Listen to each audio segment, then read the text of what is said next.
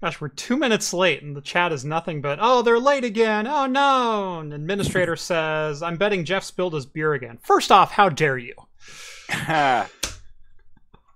Welcome to the show, everyone.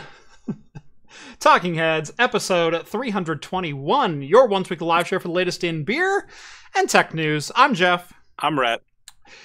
Thank you so much for joining us on this Wednesday night or in podcast form over on anchor.fm or wherever your favorite podcasts are found. If you've never seen the show before, we talk beer, we talk tech, we talk games, pop culture, entertainment, sometimes some Star Trek. All super chats are read on the air so long as they will not permanently demonetize the channel, but an even better way to donate to the channel is to get yourself something as well. Head on over to craftcomputing.store, pick up one of our amazing nucleated pint glasses that are made to order in house by me out in my garage on my laser cutter.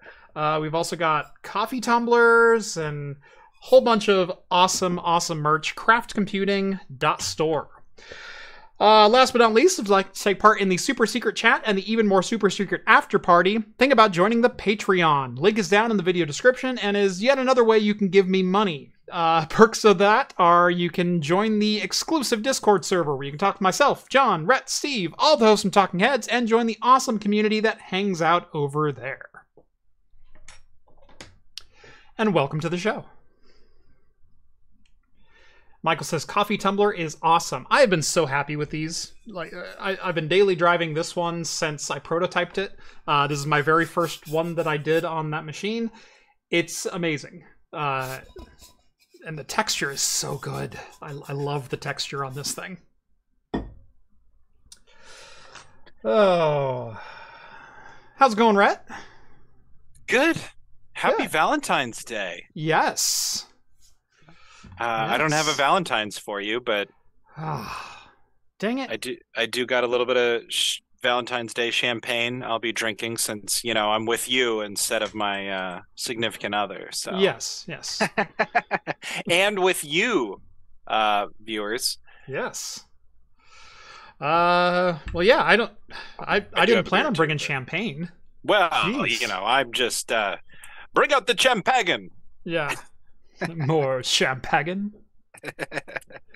Leela, get over here. It's real velour.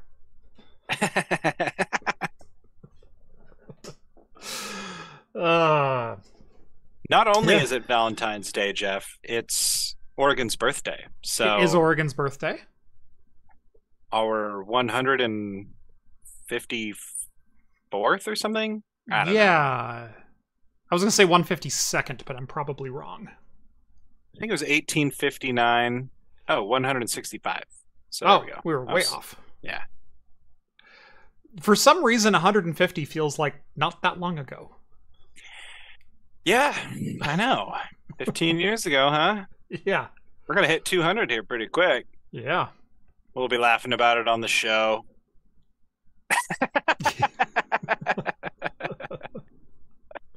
we'll be like, Oh, remember when it used to be just 165 years old and we laughed about it? it God, if I'm still doing this show in 35 years, things have gone horribly wrong for me. just saying. What?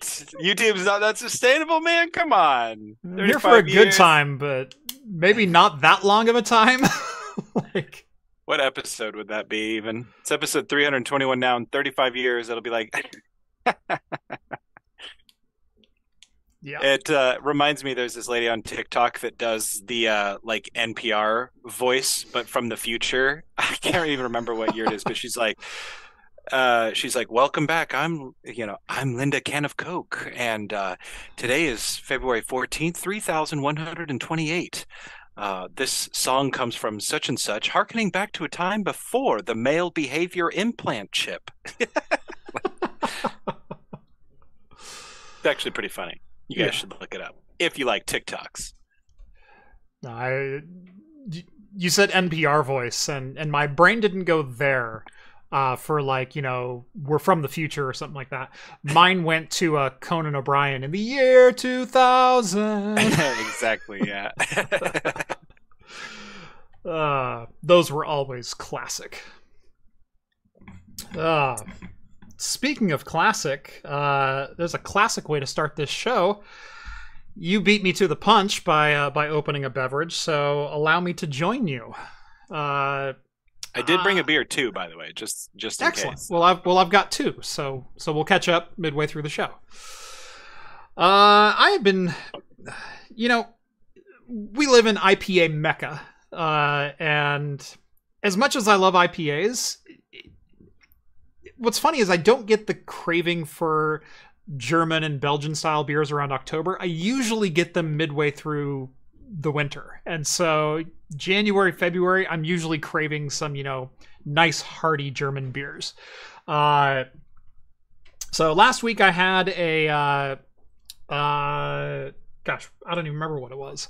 Um it was but it was from Monkless Belgian Ales over in Bend, Oregon. Uh today I have their Hazy Day in Brussels. It is a double dry hopped Belgian style Tripel uh, clocking in at I think this was 8.6, 8.6 percent. Strong, Yes. very strong. So a little hazy IPA inspired Belgian Tripel.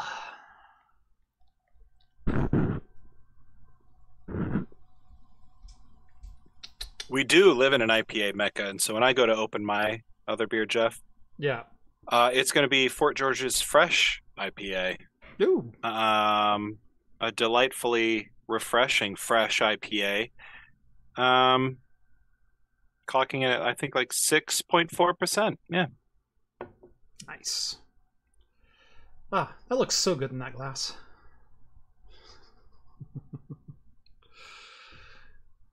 and the nucleation is doing work. Nice. Ah, it's going to be a good show. Uh, I say seven minutes into it. Uh, Broadcom doing what Broadcom does. Uh, on this day of love, Broadcom decided to call their customers. Uh, Canada to ban the Flipper Zero for a reason that Flipper's being caught in the crossfire for. Uh, you see that a, a GM reference inside of there?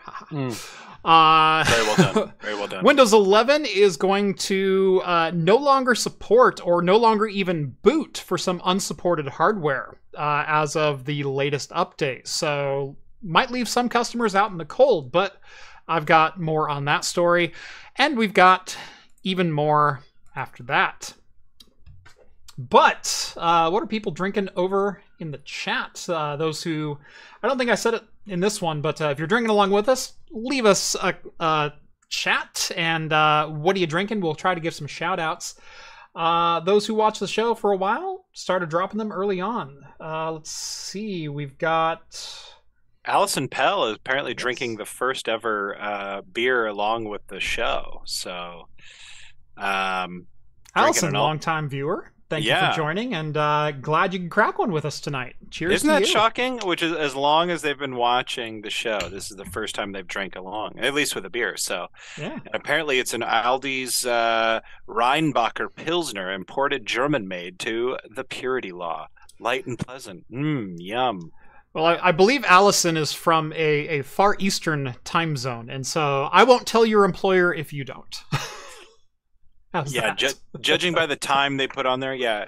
Uh, they said that they uh, drink, usually they're drinking coffee along with the show at 2 a.m. So, yeah. uh, which which puts them somewhere in a European time zone, of course, if they're buying their beer from an Aldi's. So, Yeah, it's, that's where I thought they were. So, uh, let's see. Jason says, "Good evening, y'all. Good evening." Uh, Elmo says hello. Rev says cheers. And let's see. Scrolling down for some beer. Still scrolling. Still scrolling. I know there's some that there's I a saw. lot. Come on, man. We got Elmest. He's drinking a black chocolate stout from Brooklyn Brewery. It's 10%. Nice. We got uh, Rev. Rev cracking a Jester King Urban Mutation Farmhouse Ale, a collab with Other Half. It's a barrel aged Saison, re fermented with Matika hop infused honey. 5.3%. It's a 4 out of 5 on Untappd. Solid. I don't know if I said Matika right. I came right up to that. I just rolled with it. Uh, Muteka, I believe is. Muteka. I'm going to say Matika. Yeah. I'm gonna stick with my guns on that one. I don't care if I'm wrong. Okay. Okay. Uh, Michael's drinking a Sierra Nevada Hop Bullet Magnum Edition. That is a fantastic beer. I've had that one a couple times. Uh, Imperial IPA, nine and a half percent. Uh, uh, Cap and Tack had me some green chili cheeseburgers and tater tots. Now enjoying uh, some Argyle Nut House Pinot Noir. Excellent. Uh, uh, Matt's uh, Dainton beer, Equalizer, hazy pale ale, four and a half percent in my new craft computing pint glass. Nice. Mm-hmm. Oh, Skull's got one of my favorites. Stone Again. Brewing Fear Movie Lions may have to break out the Dragon's Milk and Port to make Jeff jealous again. that was, uh, for those who don't know, we have an after party on the Discord server where we turn on cameras and people just live chat. And and I nine times out of ten will join that, and uh, we usually crack another beverage and, and have some fun, uh, talking about whatever, uh, anything goes on that chat, and it's a heck of a lot of fun Anything. He means it. Anything. little craft computing after dark. Uh, Some people take their shirts off. They go shirts for skins. right. Uh, last week we dove into the Mystic Libations uh, book uh, from Oh, Todd nice. Stashwick, uh, and we had a Braythorn brew. Uh, I believe it's Braythorn. Breathorn, something like that. It's the very first cocktail in Todd Stashwick's D and D inspired Mystic Libations cocktail recipe book, um, of which I have an autographed copy. It is one of my favorite items that I own. Um, and uh, the Braythorn Brew is 12 ounces of a Dragon's Milk Stout, which is a bourbon or a yeah bourbon barrel aged stout, uh, 12.5% from New Holland Brewing, uh, and four ounces of a chocolate port wine. Uh, so Scott or Skull broke one out last week. I happen to have some chocolate port and I happen to have some dragon's milk, but I didn't go just standard dragon's milk. I went for the 14% rye and cinnamon uh, uh, reserve bottle. So mine was extra spicy and extra delicious. And Thursday sucked. Sounds tasty.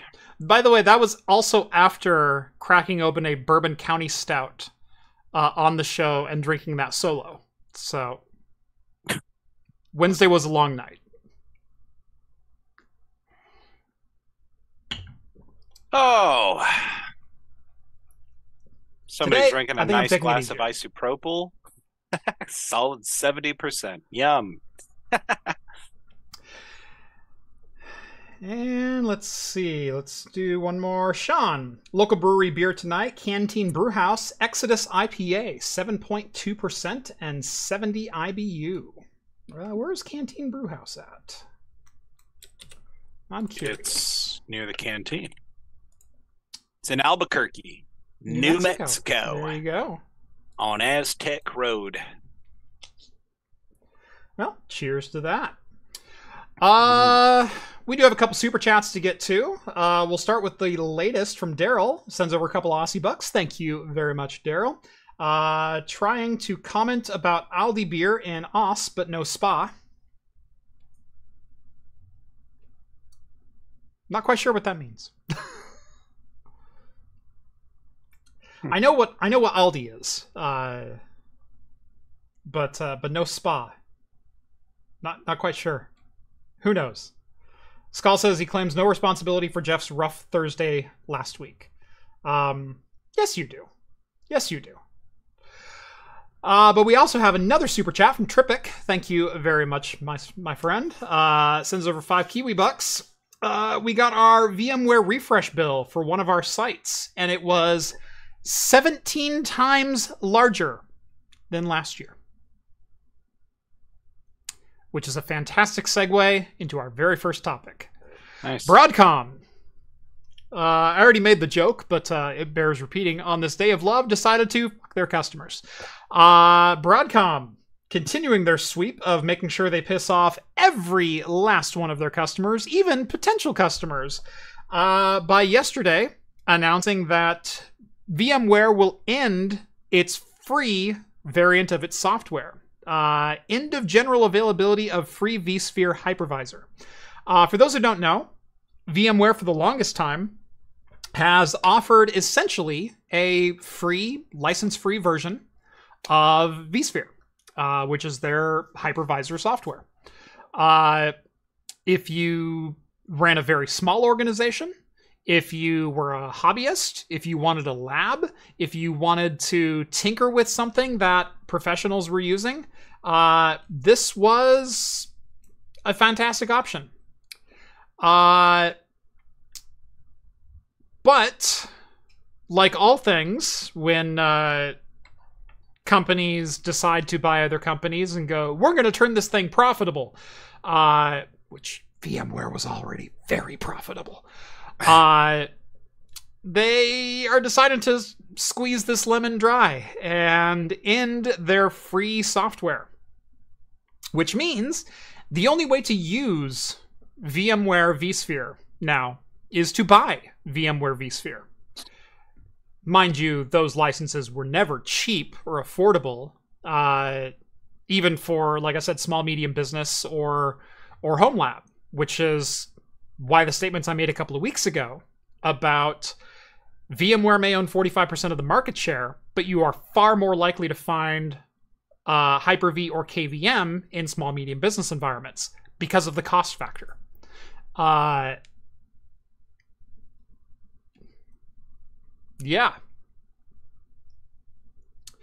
Uh, as Serve the Home writes, uh, shout out to uh, to Mr. Patrick Kennedy. Uh, this is a huge deal for the VMware ecosystem. It's a bit of a different scope between this and Red Hat goes full IBM saying farewell to CentOS. The real reason for the VM, free version of VMware vSphere Hypervisor was to get folks on board VMware. Now, anyone looking to get into the VMware ecosystem will have to pay.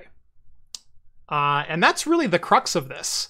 Um, and long term, maybe shooting themselves in the foot because kind of like Cisco, VMware loved training people in high school and college on how to use Cisco and how to use VMware. So when you went out into the workforce and got a real job, you brought VMware and Cisco training with you if VMware is no longer going to exist in lab environments and no longer going to exist in college labs and no longer going to exist in home labs and no longer going to exist in small medium business at all because it's literally not affordable, uh, that severely narrows your pool of qualified VMware admins. It narrows the scope. It uh, widens the knowledge gap between those who simply work in virtualization and those who might need to administer a VMware vSphere environment. Uh, that's a big deal. That's a really big deal. Uh, and these are the kind of decisions that, just like Microsoft buying Activision and then laying off 1,900 employees, is likely a short-sighted let's make sure the ceo gets his pay bonus this month and uh, or this quarter or this year whatever um, that you'll be paying for later on because you've now created a much wider skill gap uh, and the microsoft one boggles my mind because activision was already highly profitable. That's why you bought them. So let's fire a very large percentage of staff who are already working with you know Activision IPs and things like that, and uh, screw it, we'll just roll those those IPs over into other departments or other studios. Well, there's a reason that those IPs are successful, and it's because of all the insider knowledge uh, that goes into developing every year's Call of Duty and and Overwatch and and everything else that goes along with it this is one of these decisions that will bite VMware eventually. Uh, but as long as Broadcom and their CEO and and the board all get their bonuses and shareholders get get what they want this quarter, everyone else. It's all a race to the bottom, my friend. Yep. No matter the industry. Dribik sends over another five. Thank you, sir. Uh, we're looking for alternatives and looking at moving our 10 offices and 50 rack data center to different options like XCP-ng or OpenStack. Um, I've heard some great things about both platforms. Uh, I know a couple of uh, smaller cloud providers that use OpenStack and are thrilled with it. Uh, especially for an internal data center, I think both of those are solid options. Um, as much as I love Proxmox, um, they're I don't know how well their management system would actually scale to something like that. Uh, I think it's I think Proxmox's management is fantastic for a single site, single rack, maybe even multi-rack in a single organization. But once you start going multi uh, multi-rack, you're dealing with synchronizations, you're dealing with you know redundant data and all that kind of stuff. I don't think the tool set and the management set is quite there. Um, unless you're willing to build it yourself, unless you have your own storage ecosystem that you already manage externally or you already manage with a, a third tool. Um, I don't think Proxmox is the answer. Proxmox is a fantastic uh, single site, single rack, home lab, single organization type setup, though. Uh, but no, OpenStack. I'd put my money behind OpenStack if it were me. Not that I have anything against Xen.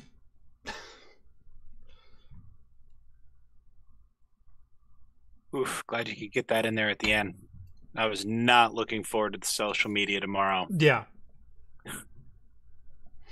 He didn't mention Xen. Get him. Get him.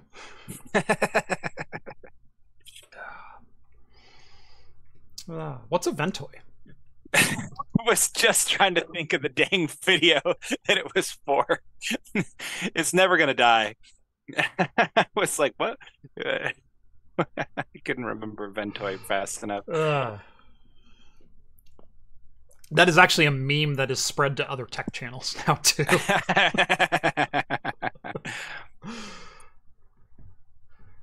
oh man, more super chats flying in. We did miss uh Cosworth's uh one up above. Oh, shoot.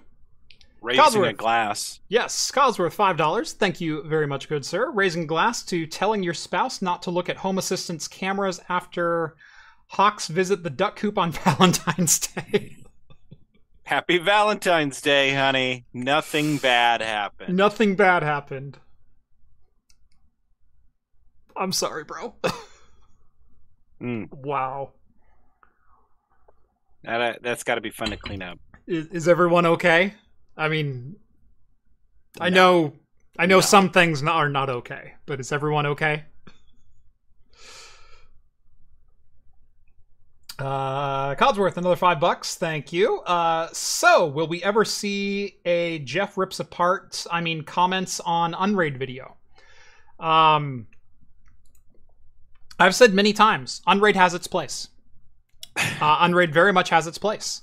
Um, it it has its advantages. Uh, the the JBOD mentality and the I can do almost anything, but to about 60% of the ability of the things that were purpose built for those things. That's kind of my opinion of Unraid.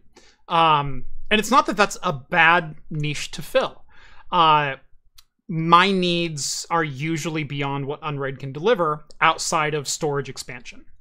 Uh, I don't have a lot of archival storage that I don't frequently access. And so storage speed and storage latency is a huge piece of my workflow, regardless of what I'm accessing, um, outside of like Plex. But Plex is like 8 to 10 terabytes of my 160 terabyte array. Uh, the rest of my storage is offline game storage for game installers uh, and I want those to run at more than 25 megabytes per second. Uh, it is footage that I'm pulling up from Craft Computing. I have almost 80 terabytes worth of video footage now. Um, and while not all of it needs to be, you know, on NVMe and as fast as it can go, if I need a file and it's a 130 gigabyte file, I'm not waiting to pull that file off. Uh, I I need it accessible and I need it quick. And so most of my use cases don't mesh with what Unraid does, which is a lot of storage for fairly inexpensive, fairly secure. I need as quick of storage as I can and cost kind of be damned. Uh, so, but Unraid now supports ZFS natively uh, since the Linux kernel uh, integrated uh, OpenZFS as part of the stack, and so you can use ZFS on on Unraid. That's fantastic. Unraid, I don't think is as robust of a hypervisor. You can do PCI Express pass through, uh, but I, I like some of the other settings of of prox. I like the the modularity and the ah, specificity at which you can dial in Proxmox, and and it's it's all KVM in the backend. Proxmox and and Unraid both use KVM as their actual hypervisor backends. Um, I like the menu system that you get with Proxmox and the feature set you get a little bit better over on that side. Um, so yeah, it's nothing against Unraid. It just doesn't necessarily fit my needs, and I've never had much of a need to investigate it because it doesn't fit my needs, and that's fine. It's the funny thing about tech and, and like tech comments like and Ventoy is the perfect example of that where it's like there's just so many options out there in general mm-hmm. that if something like if there's something that's much more specific to your use case like you might just end up using that and never knowing or caring about the other options. Right. But that's like almost not enough you know? Everybody's like no you got to know everything. You got to you got to make content about everything jeff. Right. Tech tube. Right um on my channel i have done content on proxmox on hyper-v on uh, ESXi and on Xen. I, have done content on all of that, and I've done virtualization on TrueNAS and FreeNAS. I've covered five hypervisors on this channel, and people are pissed off that I don't cover the sixth. Maybe someday. I, I've used them in all kinds of different use cases. You know what else I've never covered? Docker because Docker doesn't fit with a lot of my internal use cases. It's not something that I am uh, overly enthusiastic about. Uh, my theory on Docker is why would I run a, a sandboxed kernel when I could just run a virtual machine? Because running inside Docker, the problem is you're running on the kernel. And if you ever need to upgrade kernel, you have to upgrade every single process and every single dependency for every subsystem you have within your Docker setup. Um, that's the way containers work. I would much rather pull the trigger and upgrade individual VMs and and the host itself when I need to upgrade those those devices and and not have to wait until everything reaches a consistent mesh level and then try to do everything in one fell swoop because things are going to break and things do break. Um, I've never looked into Kubernetes because I don't have the need for highly available or multi node systems. Uh, it's not a use case that I cover a lot. Um, most of my VM work is is usually very purpose driven and very single client or small business oriented. And so it's delivering all of your data to a single client as fast as humanly possible, not necessarily being a to scale up to, oh, let's say we had 50 Plex users. I don't know 50 people, let alone let 50 people on my Plex server. And so it's not a need I've ever had. Um, and that's not to say I'm not interested in it. That's not to say it's not good technology. It doesn't fit my needs. And so I've never fully investigated uh, how I would demo it on this channel because there's people who already do it better. Yeah, I think that's a good point too. Is, is even if you did use every single tool out there, there's not really possibly enough time for you to become an expert enough in them all that you can write intelligently about them and mm-hmm. present them intelligently. Yeah. Leave it to the people that know those tools, you know? Keyboard reviews, man.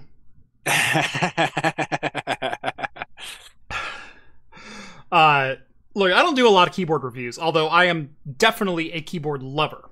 Uh, I I wouldn't go as far as enthusiast. I'm not an enthusiast about much, honestly. I'm an enthusiast for tech, and and I will dive down certain rabbit holes. And um, I have found the devices as far as keyboards and peripherals and mice and things like that that I truly do like and use and and I have refined those to the nth degree.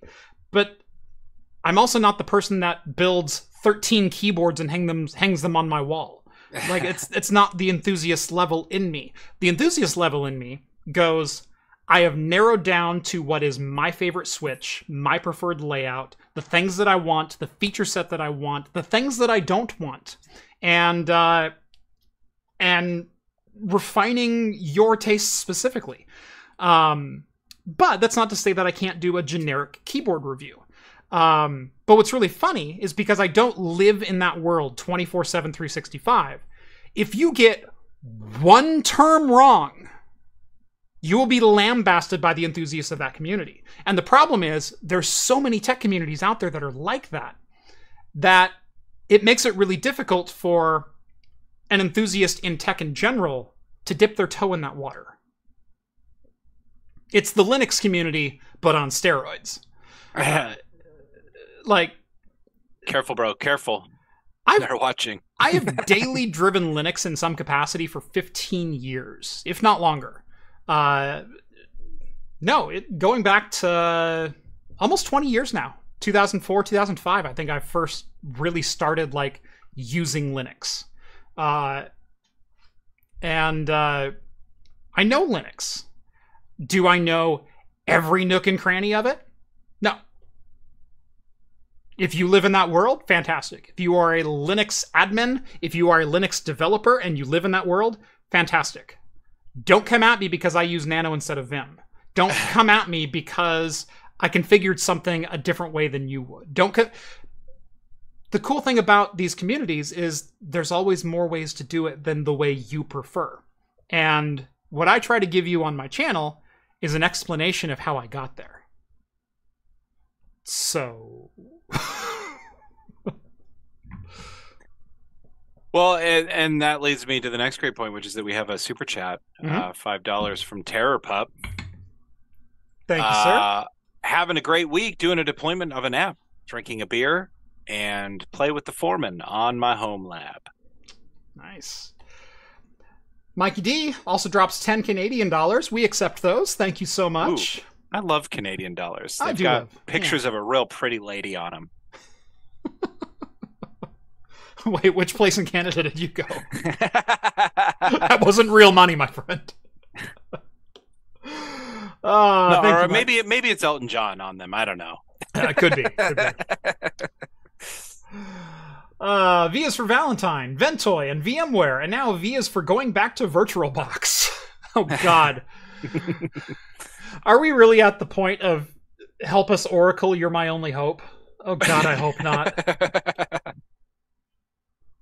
Oh Lord.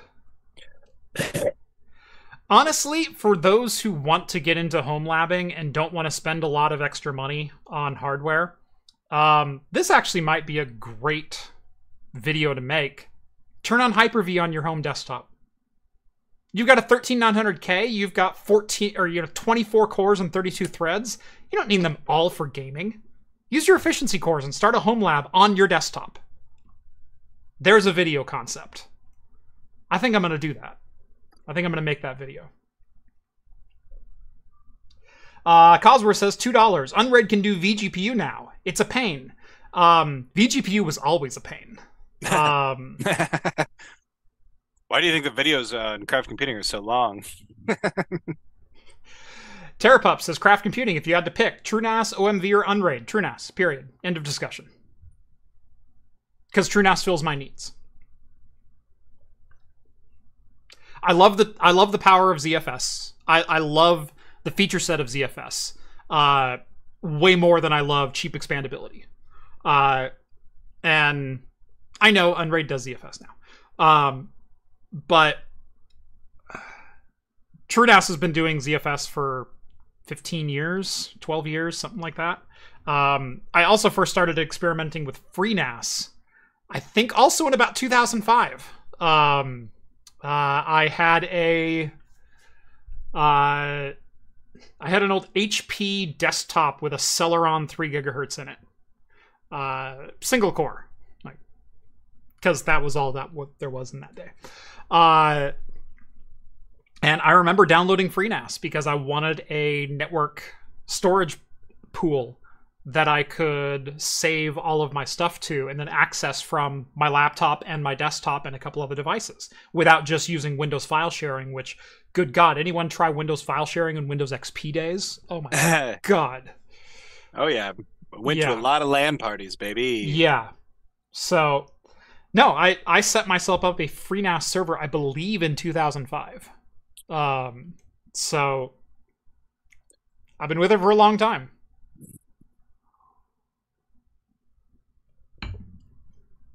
I did open my uh, beer. I couldn't wait for you. No.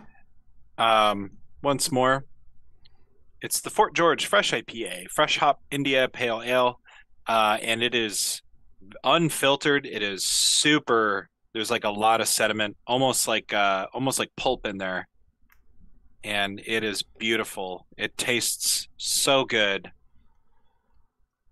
Mm. Nice. That sounds delicious. It is, you know, and you know me, like I'm not, I'm not an IPA guy, but Mm-hmm. man, sometimes a solid IPA. I say I'm not an IPA guy. I was going to let it slide. You know, I drink a lot of IPAs for not being an IPA guy. I'm not one of those not an IPA guys that won't ever drink one. Yeah. I drink quite a few, but they're not my preference. But like, it's just so gorgeous. Like, yeah. oh, and it tastes great. Very, very aromatic. Very, very uh, vegetal, to quote Jeff. And um, yeah, we'll see how it evolves. But it's it's good. Nice. I love Fort George is just nailing it for me lately. Fort George is one of those breweries. Everything they make is gold. Everything they make is good. And I mean, like, genuinely good. Like, you know, their lowest scoring beer has got to be like a 3.75 out of 5. like, everyone likes it. Most people love it. Like, Yeah. that's kind of what I get out of Fort George for every single beer they've ever produced and every one that I've ever had. As a little social experiment, while we were just talking tech, literally two minutes ago, we were at like 207 viewers. I mentioned beer, and now we're at 189. it, it do be like that, don't it? That's all right. We know. We'll get we know back. who our we know who our fans are. We'll get it back. It, it dipped momentarily. Yeah, we were at 208. So, We were pretty high there for a bit. Yeah. Yeah. um, uh, we got another super chat. Nameless Horror sends over five bucks. Thank you very much. Uh, explaining to the vice president that saves everything to his desktop why we can't use a Windows container on a Linux host is always fun. yeah. Yeah. Um, the people who know either just enough to be dangerous or the people who hear the latest buzzword and go, why can't we just containerize it? How could we implement AI? Those are the most dangerous people. The people who Mhm. don't know why they want it, but they want it because they heard they ne- they had to have it. Those are the most dangerous people. Those are the leaders that I always look at and say, "Why are you paying me?" You're paying You know- me because you're a great leader, you're a great business builder, you're a great manager. You don't know what I do. You don't know how to build a server. If you knew how to build a server, your ass would be in there building a server because you're a cheap son of a bitch. You don't know how to do that. So please let me manage it. Please let me run this. If you have specific needs of me, and I mean needs, state your needs. I need my files to appear this way on my desktop. I need. I, I want to make sure we're backed up. I want to make sure that if I make a mistake, I can revert something. Hey, if something goes down, what's our remediation process? Those are needs. Not, I need to see containers on the server. That's not a need. That's you placing words in my mouth. The reason you hired me is I know more than you about this. Let me manage it. I mean, the crazy thing about the tech industry, Jeff, is when you break it down, it's just run by normal business people. you know, Yep. like you have a few uh, companies that do really well for themselves with very intelligent, uh, very uh, knowledgeable people at the top, and then you have a lot of companies that don't. By the way, that advice isn't just about tech. That advice is about all things that a business manager might encounter. Hey, do you know how to frame up a house? Maybe give the general contractor some space. hey, do you know, you know, do you know how to properly wire a three phase? Maybe let the electrician do his job. Like, it's it's all a matter of we're all experts in some things and we're complete morons in others. I'm a complete moron in a lot of different facets. I'm not going to tell you what they are because you'll pick at them. There's a, there's a soundbite right there, guys. Get it? I'm a moron in a lot of different facets. Right. but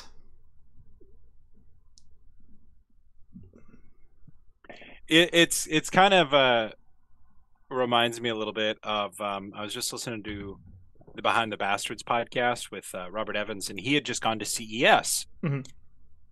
And he was at CES. He's very interested in AI and, and all this type of stuff. And um, all of these AI corporate people were giving a, a some type of panel speaking event and this person i wish i could remember the details but it's it's on one of the latest behind the bastards episodes about uh, the cult of ai uh, i think it's called something like that the cult of ai or, or ai bros are forming a cult something like that and anyway long story short uh, the the the ceo of this new ai company is saying well you know Google has used our product and they say it's the same as getting like uh, 1 million new employees, you know, and they're using it to battle fraud and all of this stuff. And this company got it and they're saying that it's it's boosted their productivity and and Robert Evans asked, "Well, you know, it's great that the good guys have this, but don't the bad guys have it too? Like if they're saying that they have boosted their fraud fighting ability by 1 million employees, isn't that also like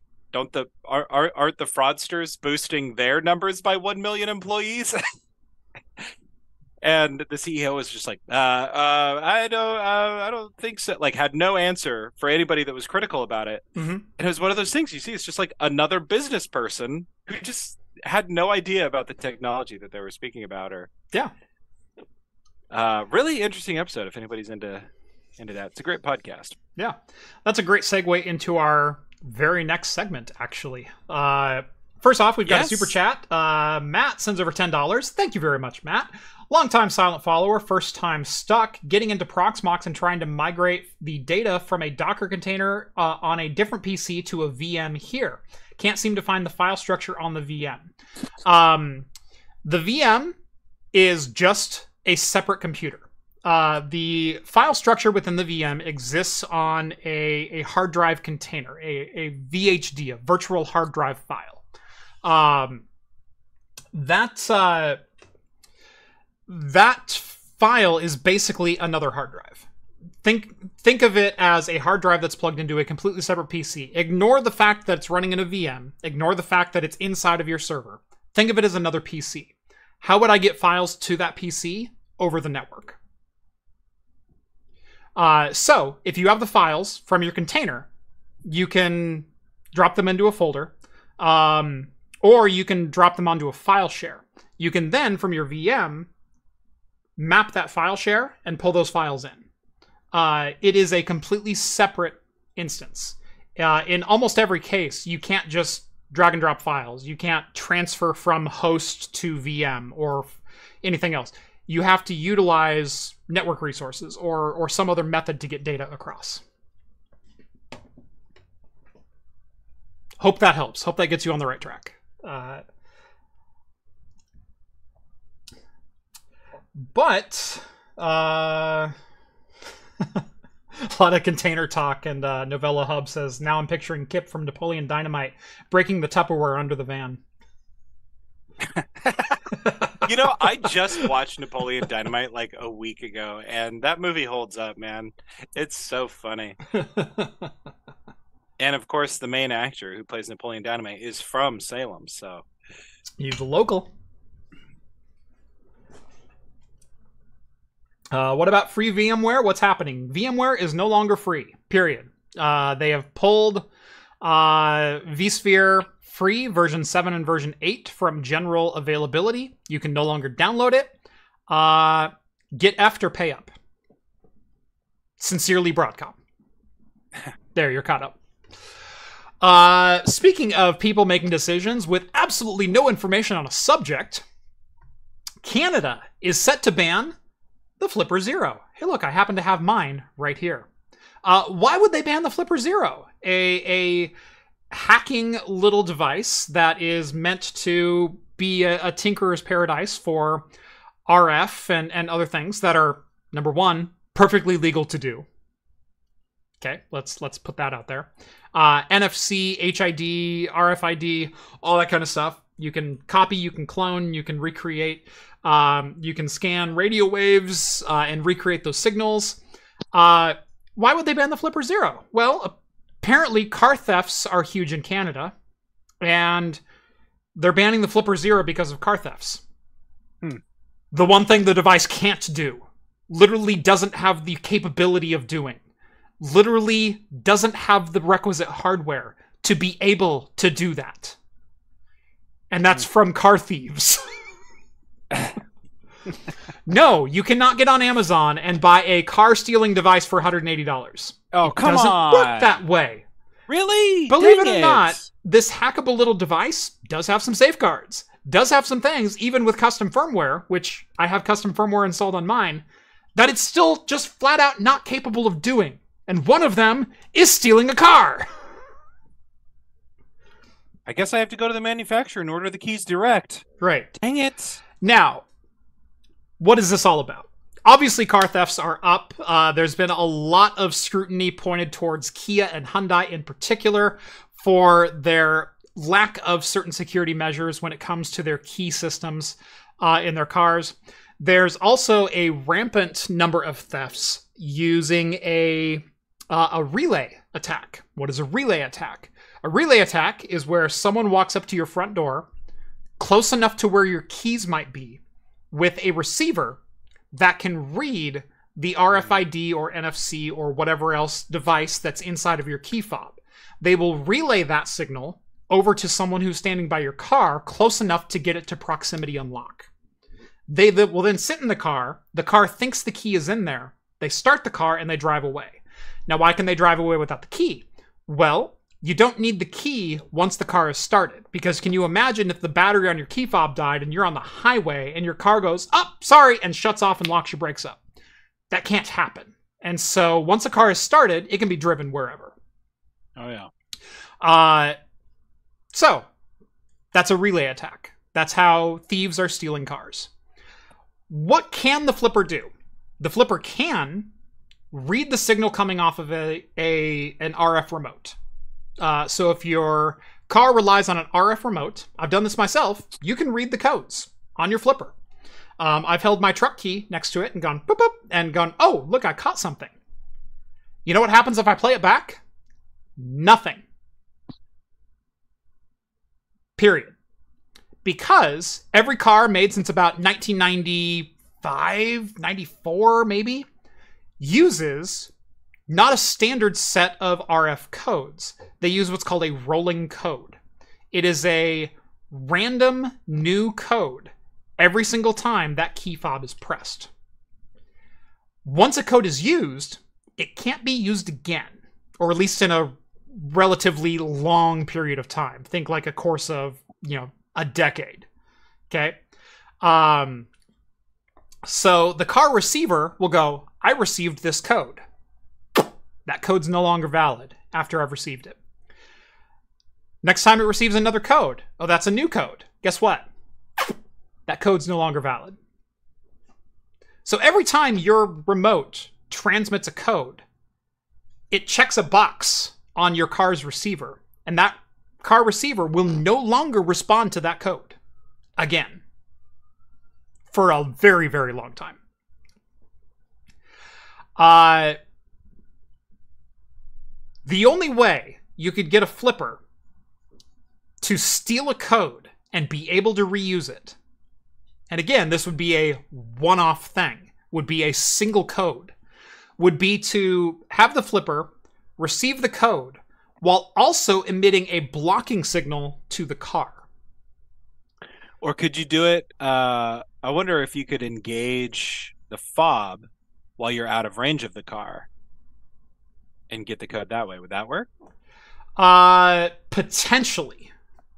Potentially. that was my Um, first thought. Because imagine you're in the big parking lot, you know, and you're like, "Where is my car?" And you're like, you're out of range. You don't hear it yet. And you're like, "Ah, I gotta get closer." I think that would work. But again, you're you're splitting into Hey, a I'm not defending this. right. I'm just, I'm just thinking like, okay, well, if there's Yeah. this one, you know, way it could work. I believe there are also safeguards in that in some some vehicles in some uh, circumstances. Maybe it's a two-part code.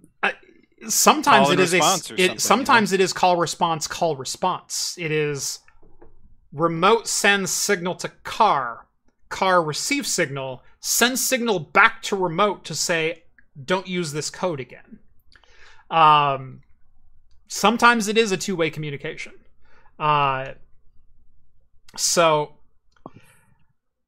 yes, uh, but you could, in theory, receive a code, block the transmission of that code to the car.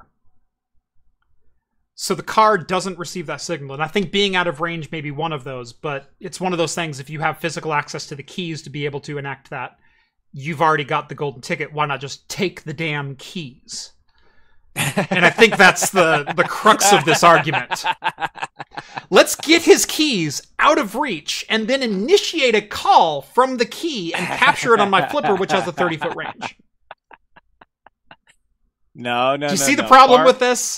far easier to park the car in a completely lead-based garage. Actually, No one of the signals in it. recommendations is to start keeping your keys in a Faraday cage. Of course it is. Of course it is. Welcome to the 21st century.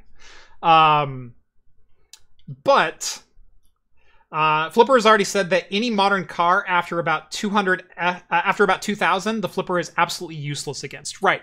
Uh, the the code the code receive call transmit that we're talking about was valid for like six or seven years from like 94 when they started instituting rolling codes to about 2000 2002 when they got a lot smarter and did call response stuff so yes and yeah a flipper cannot emulate a rolling code and it also cannot receive a validation signal Can't we? Well, we. I'm not Canadian. Thank God. No, kidding. but hey guy but can't we focus this like legislative fear her fear her fury against like important things that do actual damage to people and things and property like i have a question Hmm. can we hold kia and hyundai responsible for their bullshit code reenacting or I mean, if we can, then this opens a whole can of worms for other manufacturers of objects which harm people in more active ways. But I don't know. I guess that's just me. I guess that's just the power of regulation, huh? Which, by the way, a flipper still can't be used to steal a Kia or a Hyundai. The attacks are still more elaborate than this device allows. This device is really cool. This device can do a lot of things, like get you free arcade plays at a place that uses RFID cards. Ask me how I know. Uh, but but it cannot steal a car. I mean, look, unless you carve. There's a narrow window for like rem- like uh remote keyless entry from like 1989 to 1994 you might be able to use the flipper but those are things that have the security of a garage door opener guess what also improved over the years garage door openers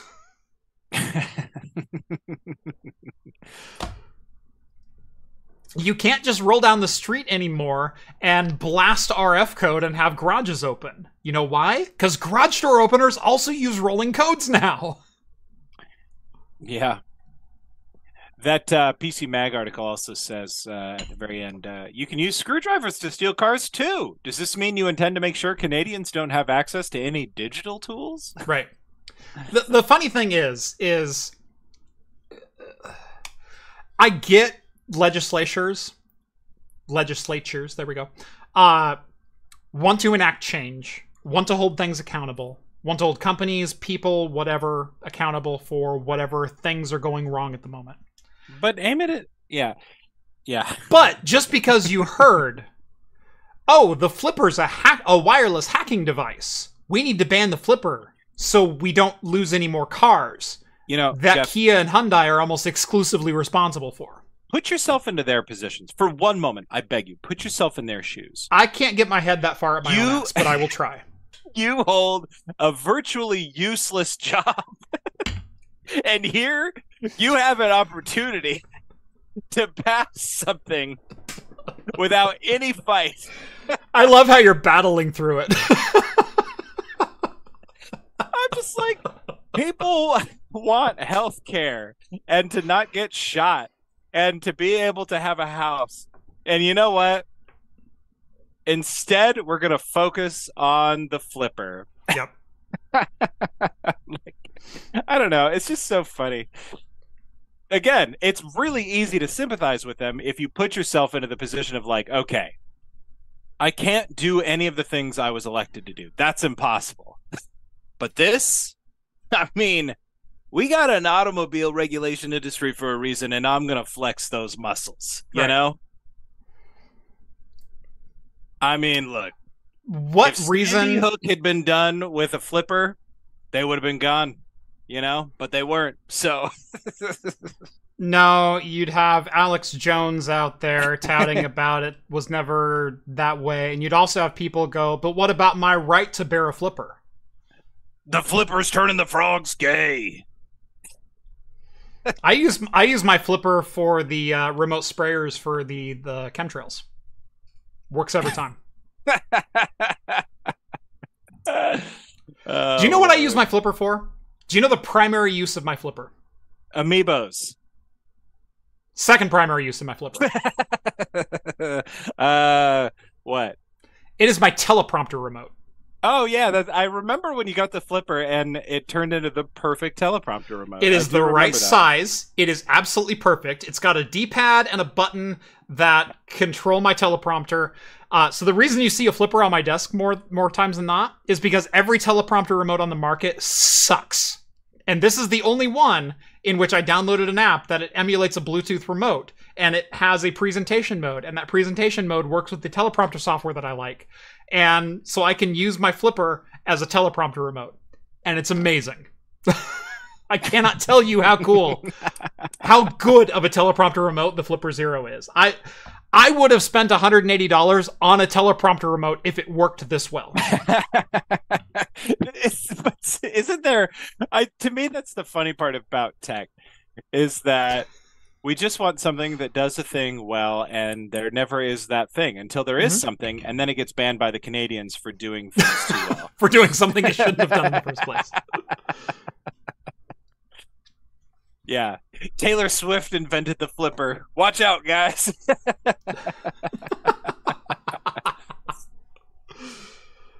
oh my Uh. god. Somebody said uh, when I said that uh, probably about the, the, the comment about uh, the flipper turning the frogs gay, uh, Michael S said, Yes, RF signals do that. And I said, RF stands for return to female. I don't know. That should make me laugh as hard as it does, but it does.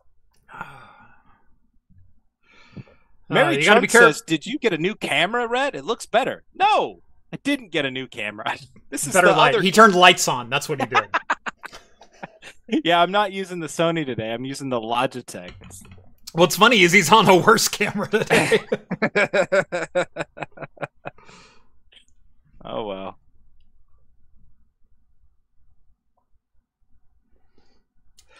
Uh, what was it that could turn on your space heater? Oh, my short that I posted. Uh, that was my Roku remote. Oh yeah. Um, was uh, so we had a uh, a, a tower fan in my living room, and uh, I have my. We use a Roku in almost every room. Uh, we we have TVs and Roku's everywhere, and uh, my Roku remote for some reason, even though it's programmed with the volume up, volume down directly from my remote, um, when I press volume up, it turns on the rotation of my fan. Apparently, the the IR codes are close enough to volume up for a Vizio TV and rotate on a tower fan. Perfect. Uh, we found another button that does something else as well. Uh, there was something else that that interacted with it that I think we found off that Roku remote. But yeah, uh, the the short was when a custom when uh, when a customer says something about their tech, believe them. And that's actually something I always preach to techs that I trained. Uh, I, I trained a couple of different things. Number one, this may be the millionth time you've heard this complaint and the millionth time you've responded to this certain issue. For who you're talking to on the phone, it's their first. Treat it like it's their first. And so, for any customer service oriented job that you're in, treat that interaction as the first time you've ever interacted with that person and the first time you've ever experienced this. You can bring your experience to help solve the problem, but in your explanation to the person about what you're doing, why you're doing it, what caused it, will it happen again, this needs to be their first time too. And so treat it as that. And that that applies again to all fields. That applies to retail, that applies to customer service, that applies to tech, that applies to a whole bunch of different areas. Uh, interact with a customer who is potentially their first time interacting with you as if it was their first time. You're 8 out of 10 on every review already. Period. Uh, number two, when they tell you of a problem, believe them. Whether or not they got to the root cause, they may be reporting a symptom. But that symptom is still probably something that can lead you to a root cause. So believe them. And so if they say, uh, we had a great one, speaking of remotes, we had a great one for a long time. Uh, we had, uh, uh, I did some work at a K 12, and uh, they had a keyspan, keyspan uh, remotes uh, that were their PowerPoint remotes. And the funny thing about PowerPoint remotes is they usually serve a couple of different features or functions. Uh, they have a dongle that plugs into to the PC, and then they have a remote that they can hold out. Um, and much like trying to find the right teleprompter remote, there's certain buttons that do certain things. So in PowerPoint, there's start presentation, there's next slide, there's previous slide, there's start animation, there's volume up, there's volume down. There's a whole bunch of different functions on that remote. Do you know how those functions are achieved? Keyspan emulates a mouse. Also on Keyspan remotes is this little center nubble right there. Uh, IBM liked to call it a track point.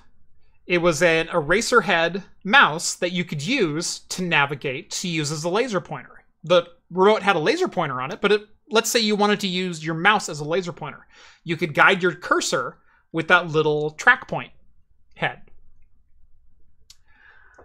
About once a week, for 10 years, we would have someone call into our tech department and say, My mouse is acting really funny.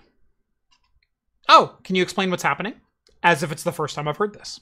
And they would say, Yeah, uh, every time I move my mouse, it shoots to one side. So I'll, I'll, I'll pull my mouse down. Here, I'll, I'll be I'll be the mouse on Rett's screen here. I'll, I'll pull my mouse to the side and do what I need to do, but as soon as I let go, it snaps up and away. Or it snaps to the left, or it snaps to the right. It snaps to the side, and I can't get it back. Every I, I can drag it over, but every time I release it, it shoots back to that side. So, okay. Do you happen to have a PowerPoint remote? Well, yes, I do. Okay. Can you make sure, number one, there's not a piece of paper on top of it, and number two, it's turned off? Because what would happen is they'd they'd give a presentation, they'd toss the remote in a drawer, and it'd be sitting on that little track point device.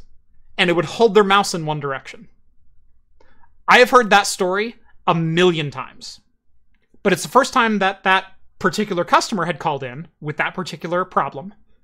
And so what we can't do is hear a customer complaint and go, I'm having a really hard time with my mouse and go, unplug your track put your your your PowerPoint remote. I don't have a PowerPoint remote because the one time there's a customer without a PowerPoint remote and now he snapped at someone. And that's a problem. So, believe what they say. Hey, I'm having a problem with your mouse. Oh, what is it doing? Please tell me more. I'm intrigued. Oh, every time I move my mouse, it's dragging to the left. Then ask a question, not an accusatory question, but a question. Hey, do you happen to have a PowerPoint remote? Well, yes, I do. Can you find that and make sure it's turned off, please? Also, make sure it's turned off when you're not using it because if you set something on it or it gets set upside down, sometimes the little pointer on that will cause your mouse to act to, to behave weird. Cool. You solved my problem and you were nice to talk to. Two birds, one stone. Nailed it. This man customer services. This man customers this man managed customer service for so long. this man hired and fired people based on that, okay? so uh, what are your beers tonight, Craft Computing? That's a fantastic question, and I'm really glad you asked because I'm right there. He's got, sorry, he's got, uh, he's got a Fort Fort George Fresh IPA. I am drinking a Monkless Belgian Ales Hazy Day in Brussels Double Dry Hopped Belgian Triple Tripel, uh, and it's been delicious. Uh, as I said, this is a fantastic blend of a I don't even want to call it a New England hazy because it's not a New England hazy. This is a, a straight up hazy IPA, modern day hazy IPA, post 2019 hazy IPA, um, with some little Belgian artifacts in it. L- little bit of ester, a little bit of a thick, thick mid malt body profile. Uh, it's been fantastic. And I'm about to finish it and open up my next beer.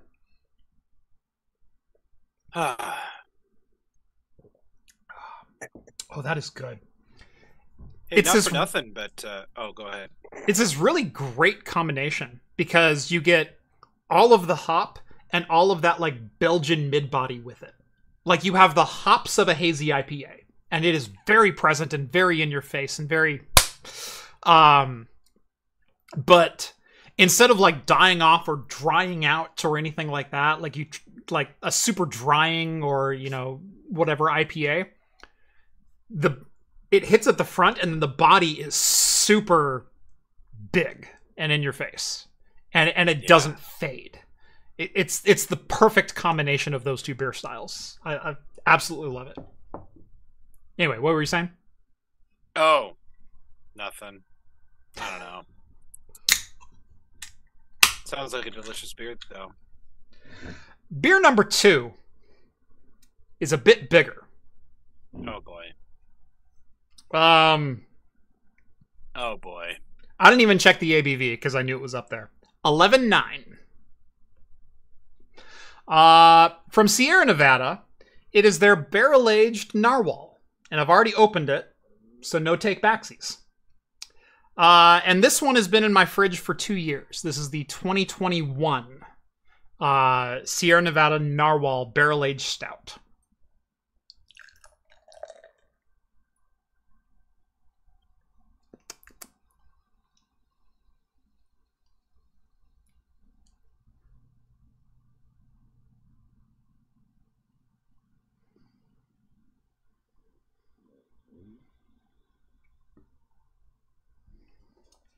What's really fun is it still pours with that big of a head.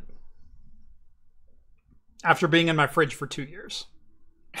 By the way, this is my Code Rain glass. This is the Matrix inspired, ins- inspired, inspired uh, Code glass. Uh, why do I have a, a Code glass? Well, for some people it's hardware. For some people it's software. There you go. Uh, but this is my stout style glass, uh, little Nonic pint. Uh, also available, craftcomputing.store. uh, and it's fantastic, and it's full of Easter eggs. Like Raid is not a backup. And what's a Ventoy? Raid is a backup though if you use it right. Raid is part of a backup solution. It is in and of itself not a backup. I am just kidding. yeah, five years into craft computing, and I'm going to die on this hill, Jeff. oh Lord, You're still waiting for widescreens to fade.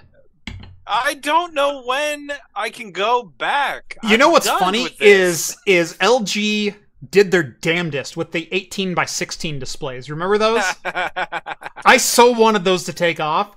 I had three different companies reach out with review samples, and none of them ever showed up. Oh come on. Most recently, like three weeks ago, I got someone who goes, Hey, we have an 18 by 16. And I went, I've been wanting one of those forever. I'll give you a good review. I don't even care because I know where you sourced your panel. Please send it.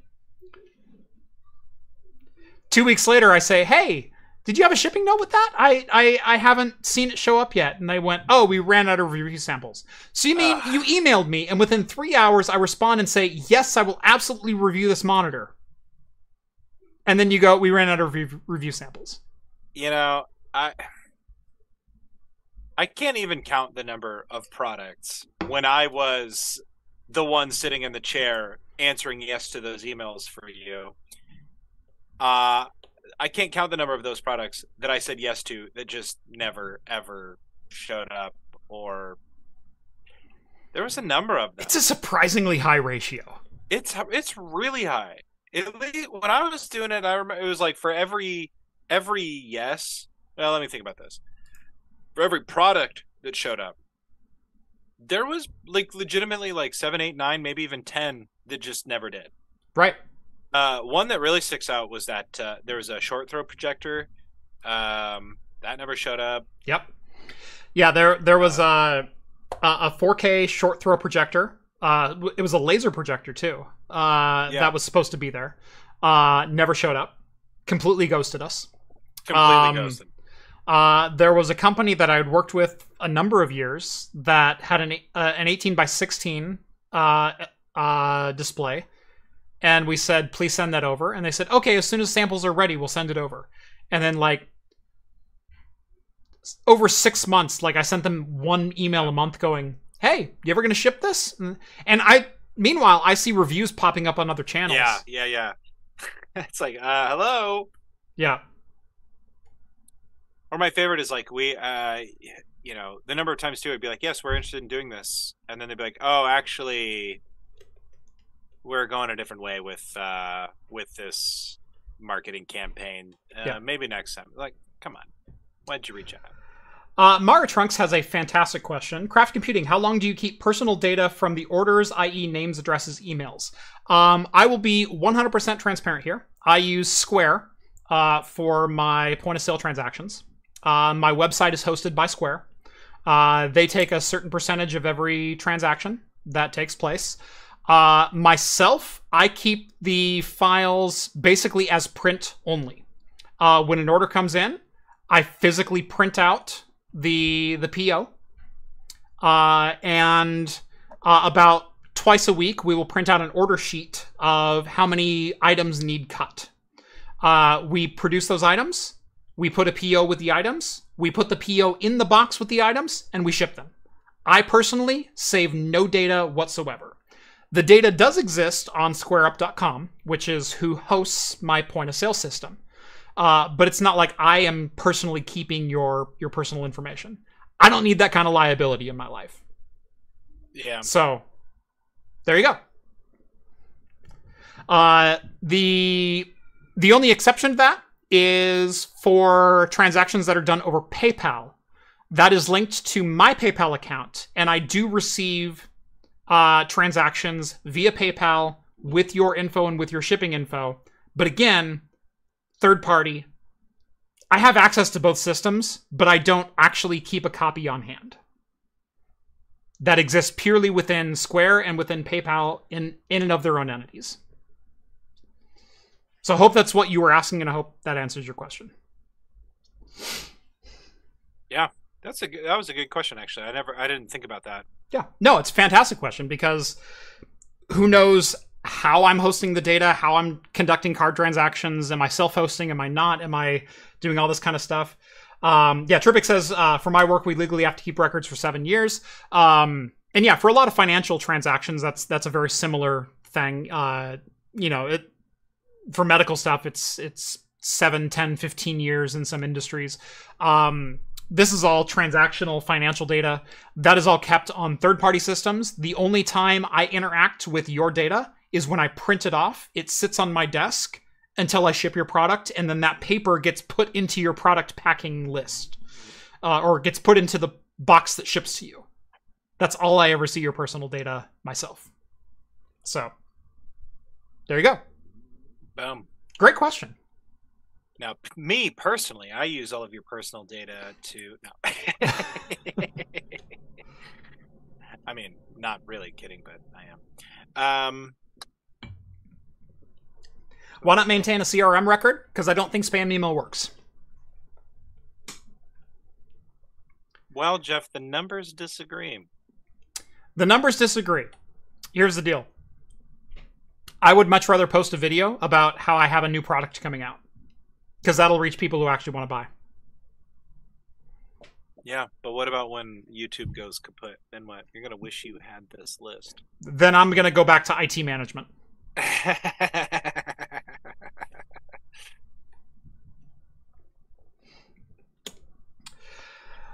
Look, I have my issues with YouTube. And and I've had a number of people go, why don't you just move platforms if you hate YouTube and you hate Google? I hate YouTube. I hate Google. I, I actively say that. I will actively say that until the day I die, and I'm saying this on YouTube right now. Um, the problem is discoverability of new audience. Who's going to discover my content if I'm on craftcomputing.com? but also, who are the people that are saying go to an, a new platform? Because what is that platform? Like, dude, I watch videos all the time, eight second clips on this website, man. Just break your videos into eight second clips. It's not a big deal. Uh, there's four websites, man, and we're on one of them. It's called YouTube. There's another one called Facebook, and uh, if, if you want to find a, a market for your videos, you got to play ball. I don't know, man. I I I, lo- I I personally pine for the days when there was uh, more than four websites. Maybe we'll get there again someday, but uh, yeah, for now, Um, for now, you put them on YouTube. here's the deal. Um, I have thought so many ways about how to monetize my platform outside of YouTube. I'm probably someone who's given it more thought than you could possibly imagine. Uh, I got copyright struck at the beginning of this year Yeah, for a yeah. for a BS reason. Uh, and I'll just say it from Bethesda. Bethesda ZeniMax. Zenimax. Bethesda ZeniMax issued a copyright strike on my channel, and YouTube obliged and added a strike to my channel. I was one third of the way to having my channel permanently deleted. Do you know why? Because I talked about Fallout 76. Yeah. Did I show video? Did I show clips? Did I infringe on their copyright whatsoever? No, I did not. But you know what? YouTube issued a copyright strike. A copyright strike in and of itself hurts you. Yeah. It it it, it hurt it hurts your discoverability. It hurts your recommendations. And when I started asking questions, when I emailed ZeniMax directly to their press line and said, "Hey, I don't know if you know what you did here, but I'm well aware of DMCA, copyright law, and everything pertaining within it.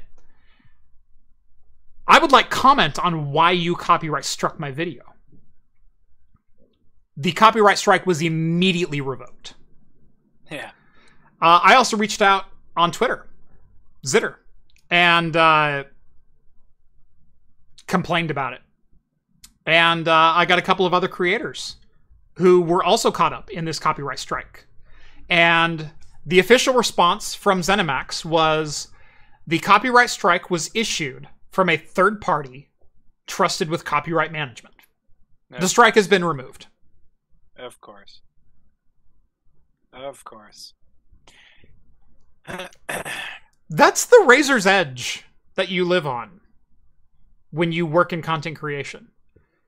So, should I pack up my bags? Should I leave YouTube? Should I do whatever else? Here's the problem Uh. 60% of my revenue is the ads that I sell. It's the ads that I sell directly to the companies like Linode and and Fractal Design and NordPass and Manscaped and and partners like that that have Patriot. Not Mint Mobile, that's for sure. Not Mint Mobile, that's for sure. Uh, by the way, I think I'm actually going to just post that video. yes, finally. I think I'm going to. Nothing saying I can't. Why not? Who cares? So I think I'm going to post that video. They Um, copyright strike us. They can't copyright strike me for anything in that video. yeah. At this point, it's parody, which is perfect. um, but 60 to 70% of my revenue is selling those ads, is selling those 60 second pre- uh, post roll ads, uh, or pre roll ads is what they're known as. Uh, they run after the intro, before the main content. They're pre roll. Um, 60 to 70% of my revenue. Do you know why I can sell them for that price? because of the viewership that I get on YouTube. Because that ad goes out to 50,000 people every single time. Do you know why I can't move to a different platform? It's because my revenue, regardless of subscribers, regardless of people who are willing to pay for my content, regardless of uh, PR companies and companies directly that would sample me products, also expect 50,000 people to view that thing. I wouldn't be able to deliver that on any other platform. I'm I'm also interested too. Like this is a good example. It's like you had a pretty sizable following on uh, on Twitter, and since Twitter has um, become less good than it was, have you noticed a sizable hit on it? And if so, have you been able to like regain any significant amount of traction on another social media platform that isn't YouTube? No. Yeah. Um, because I grew on YouTube in an interesting way. I grew on YouTube because of a couple hit videos. Um, I mean, because of quality content through in and throughout, and that's kind of what you need to sustain growth. And I have always sustained growth. Um, less than 14 days I have ever shrank in my channel's history. Yeah. Uh, every single day, every day, every individual day has been a positive growth on this channel as far as subscriber count and viewership. Every literal day. Um, and that's something not a, not a lot of people can say. That's something only the successful channels can say. Uh, there's a reason I have 330 what 2,000 subscribers now, uh, and I've never seen a dip in subscribers. I've seen the number not grow as quickly. I've seen the number grow by only a thousand people a month. I've also seen the number grow by 10,000 a month. It's because I'm constantly in the heading in the right direction. Um, with with the uh with the change of like Google Podcasts going away or something like that, I had to we had to migrate one of my podcasts back onto YouTube after several years, uh, and it was really funny um, looking at my viewership stats since the migration is done today. And I think like the official the plat the other platform I can't remember what it is if it's like YouTube podcast Google Podcasts whatever it's done it's dead now our podcast is available on YouTube as well as other platforms. But I was looking at the analytics, and it was like uh, you had a fifty thousand percent growth in viewership, and it's like a, it's like a handful of viewers. but it was so funny, just like how it went from being a platform we didn't use to like. 50,000 I was like this is almost insulting. They didn't have to put it that way. I was like, okay, like I'm sure some people like seeing those numbers, but that number is so large that it feels like a slap in the face. Like pump the brakes, YouTube. Come on. Yeah. Fifty thousand percent increase in your average viewership. Wait till you see the 20,000 decline the week after. yeah, I know exactly. oh god, this made me laugh so hard. What's really funny is I really can't view my viewership growth over time because there's like three or four outliers that are such outstanding outliers and I cannot Yeah. filter them out that everything else looks like a flat line. Yeah, Um, I have four videos that are over a million views at this point. I have a, uh, I have the 2.6 million for Wish.com. I have a 1.4. Uh, hold on, let me let me look one this up so I is can about accurate. Windows. Cut the Windows bloat, right? Huh? One actually, yes. yeah. Uh, one of them is the the debloat Windows video. yeah. Um uh yeah, so wish.com 2.53 million. Uh how the Verge PC should have looked. So when the Oh, yeah. Verge did their video, uh I did a reaction video where I redid what their video should have been. Uh that is 1.5 million views. Uh you're running Pi-hole wrong, 1.2 million, and debloating Windows 11, 1.0. Uh, and then everything else is 725, 690, 679, 631. Still sizable views. Um, I've also got the LTT uh, Oregon Wildfire PC that I collaborated with LTT on. Uh, that's at just over 500,000. Um, has double the comments of half the videos in front of it uh, at 2,800 comments.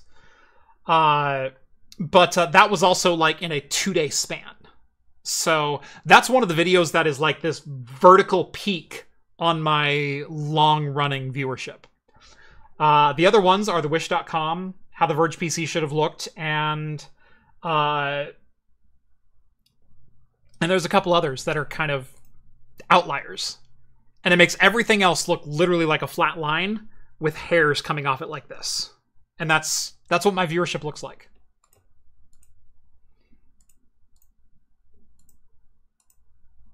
But how do I grow a new audience? If I was not on YouTube, let's say some of my content went viral and I was posting on Vimeo or Floatplane or something like that. Hey, cool, we need to subscribe to Craft Computing. Oh, it's behind a paywall? Oh, screw that. Bye. Yeah. Matlock is a fan of your Verge video. Yeah. Oh, I remember those days. Okay. Okay. No, I heard. I heard things hitting the floor. So Yeah, me too. It was the sound of uh Yep. you dropping the challenge to the verge hitting the floor. That's right. Yeah. please, please don't do TikTok. Um, Too I'll- late. you, you do TikTok. Um, here's the deal. Um, eventually, I'll probably have to because short form content is all the rage. If you've noticed, I don't post a lot of short form content. My videos are 20 minutes long. And the reason they're 20 minutes long is because of the things that we explained earlier when I was doing keyboard reviews. I And I need to explain the context of how I'm reviewing this item, why I'm reviewing this item, whether or not this item works for me, and whether or not I think this item will work for you. Back when I was in the studio every day, I was like, "All right, Jeff, is there a way? Is there a clip we can take from this video? Is this Mhm. a TikTok clip? Can we Mhm. do that?"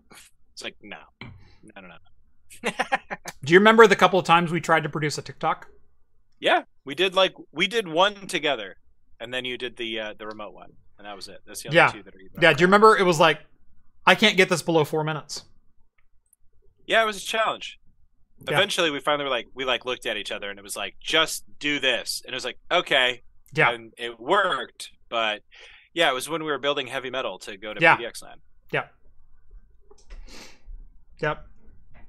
And, Please do uh, Raid yeah, Shadow Legends. Um, here's the deal. Eighteen thousand views. I don't need to personally use an advertiser to advertise for them. What I will stop short of is saying, I wake up every day and play Raid Shadow Legends. Hey, look how great my pubic hair looks. I use Manscaped every day. Um, there's a difference between an endorsement and a testimonial. What a lot of companies want is testimonials. I started using AG1 and it absolutely changed my morning routine. I now wake up with a healthy green blob of. I say this because I did an AG1 commercial in which I got approval for putting AG1 in a beer. Remember that? That was fun. That was fun. That was one of my favorites. That was fun. Um, I Did I we're like, say I wake up every morning and I drink AG1? No. Do you know what I said? Healthy lifestyle starts with AG1. You can pour it into whatever liquid that you want, mix it up, and and start your day. And, and never once did I say I do this. And that's the difference. I don't mind advertising space on the channel. I don't even mind it being in my voice. I will never sit up here and say, I play Raid Shadow Legends. Because I don't. Well, you're missing out. If Raid Shadow Legends wants to advertise their their latest pack and latest set of heroes and latest gameplay mechanics and things be my guest. I'll even recite it for you. What I will never say is I do this.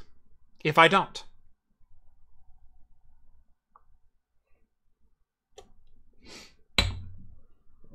Tara Yeah, says, I couldn't believe you did the Manscaped product. Those have been a lot of fun. Uh, yeah, that's one of my favorite videos that we did to get. We always, we had too much fun with the ads when I was in the studio every day. Uh, because that Manscaped one got down and dirty, man. Like, uh, we had, you have like- no idea how long my studio smelt of dill. well, I do because I was there. it's like three weeks later, I'm still smelling dill. but man, like Jeff bought this electronic saxophone, and I just remember like we're doing Manscaped, and I was like, I was like, I don't know, man. I don't know how we agreed on the idea of like smooth jazz or whatever that being like the the the way that we worked, the angle that we worked from. But the moment that I realized that we could use that that electronic saxophone, I was like, this is funny. It we have to. doesn't get funnier than an Yeah. electronic sax. like, and it was cool. And that's Jeff actually playing the dang thing in the ad too. So if you guys go and find that one, I love the uh, people who commented on some of the keyboard Yes. reviews that I've done recently, who say, "Well, you just don't know how to type, or you're not, you, you don't have enough uh, dexterity Oh, to do that." Yeah, that's it. I play clarinet, motherfucker. you have no idea who you're talking to, okay?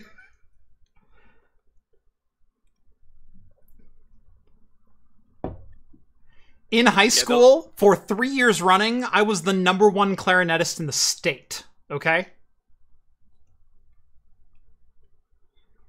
I chaired my junior year the All Northwest Orchestra. I was the first chair clarinet. The first chair. The one who gives the tuning note to the rest of the band. Me.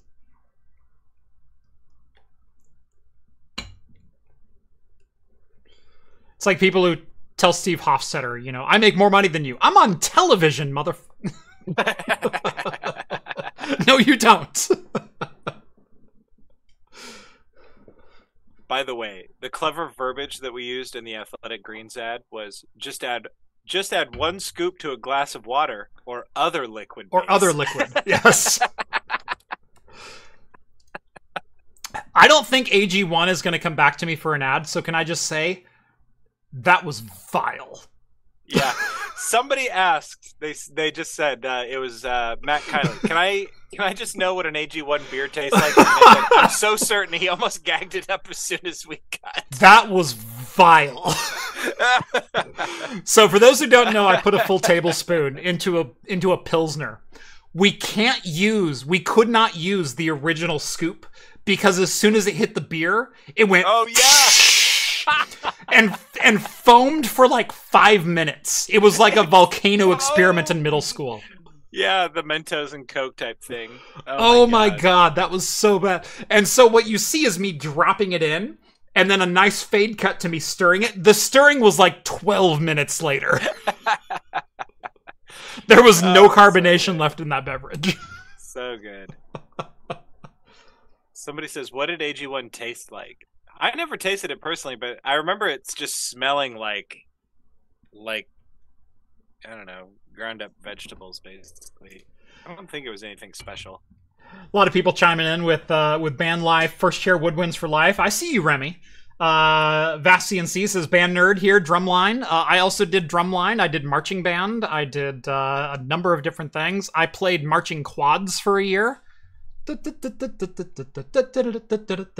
Yeah, I, I did all that kind of stuff. Um, I was Uh, the lead snare in my drum line.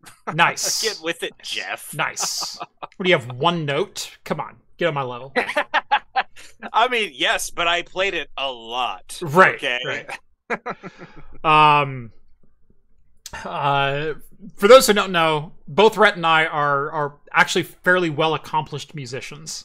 Um, I don't know if I would say well accomplished for myself, but have you, you. have you worked at a professional level? I have. Yeah. Then you are an accomplished musician. I never take away from that because everyone has their own level of success, and someone paid you to do it. So there you go.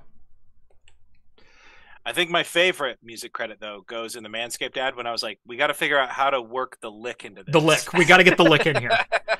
Um, my my favorite piece of that is he says the lick, and I went, "We got to get the lick in there," because me and my friend, uh, my friend Corey, my, one, one of my best friends in in in high school band and jazz band and all the ensembles that I used to play in, um, we used to go and listen to other bands, and one of the things we would do is we would point out when they did the lick and oh he did the thing! He did the thing! Like it, it was a meme before we knew what memes were because it's the lick. Um.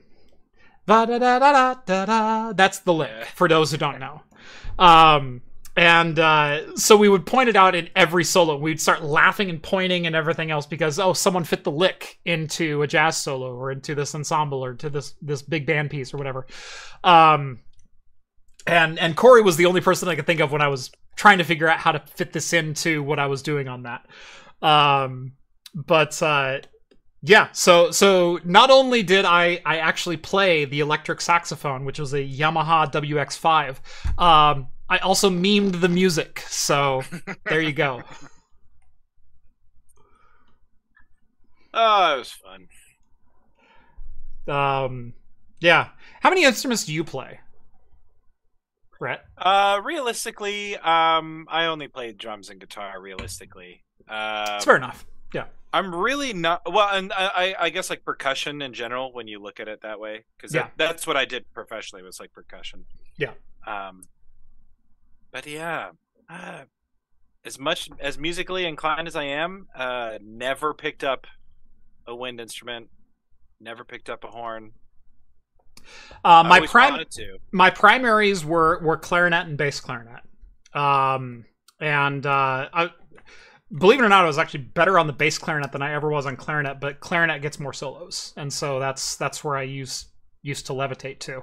Um, my junior year, I was the uh, chair clarinetist, the first chair clarinetist for the uh, U of O Summer of Bands (SOB). Um, it was a, a high school invitational, uh, as well as WIBIC, Western Interna- International Band Clinic. Uh, I was the the first chair clarinet for that. What's really fun is uh, I also had a really good friend named Emily, who we had the same private instructor, and her and I were one A to one B. We would show up for random events and figure out which one of us was 1A and which one was 1B because we always sat next to each other and it was always the first or the second chair. Uh, and so I would show up and I'm like, oh, your audition tape was slightly better, even though both our instructor recorded both of us. Like, I'm going to have to talk to her about that. and, uh, so shout out to Emily. You were amazing. Um, but uh, yeah, so uh, Summer of Bands and Western International Band Clinic, three time WIBIC, uh, two time Summer of Bands, uh, first chair clarinetist. Um, uh, All Northwest twice on bass clarinet. Uh, I also played. I own a basset horn. Let's just leave that there. I own a basset horn. Um, I play all the saxophones from soprano to baritone. Uh, soprano, alto, bari, tenor. Uh, probably tenor is my primary, but uh, but I've spent time on all of them. Um, I'm a I'm an okay I'm okay on a drum set. Like if you put me down and you need a two four rock beat, I'm your guy. Like I, I can do I can do some very generic uh, Casio keyboard level drum beats.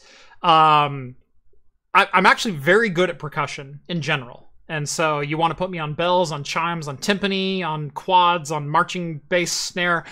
I can totally do all of those. Don't expect them all together. And that's what I that's what I consider the drum set. So I, I can get these two limbs working for me. I could never get all four at the same time working in unison.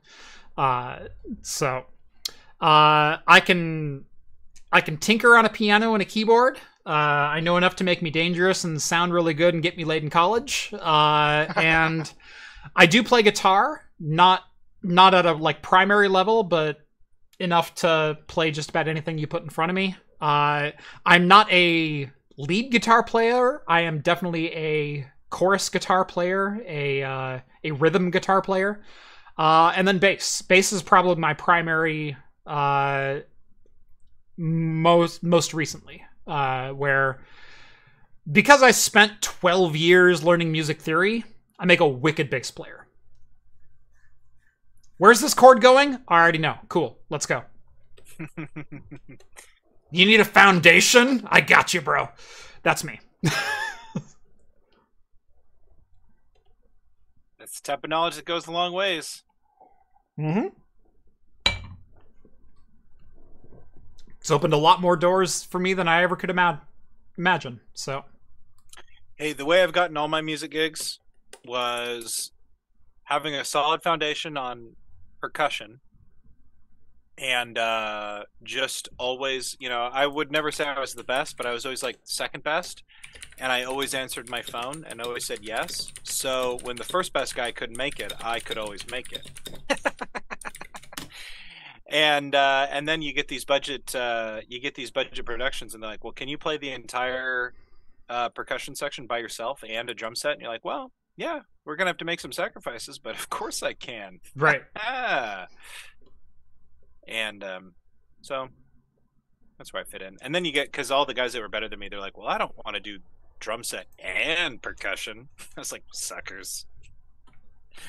I will give myself an ulcer. Can we Uh, can we all attack Kyle in in the chat section right now? Uh. Want to buy a 45 drives HL15 that isn't marked up because they're all sent for free to influencers. Number one, have you ever done marketing in your life? Um, do you realize if they wanted to actually pay me to do that ad, it'd be about eight grand. If they wanted to me to produce a video, it'd be about eight grand. You know what they did? They sent me two thousand dollars in hardware. Have you ever priced out a server in your life? And I mean ever in your life because I used to do it for 13 years. I know what servers cost. I know what building your own server costs. I know what BTO, I know what bring your own hardware. I know what system integration. I know what all of that costs. $800 for that chassis is a goddamn good deal. $2,000 for even, oh, you're only getting a six core Xeon that's so many years old is a goddamn good deal. Go price out any other server and come back. Your move.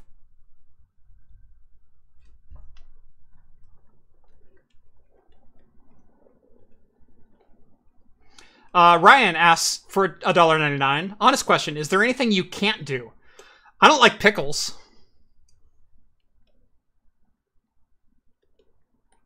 Trippic says, laughing at my average $18,000 server cost.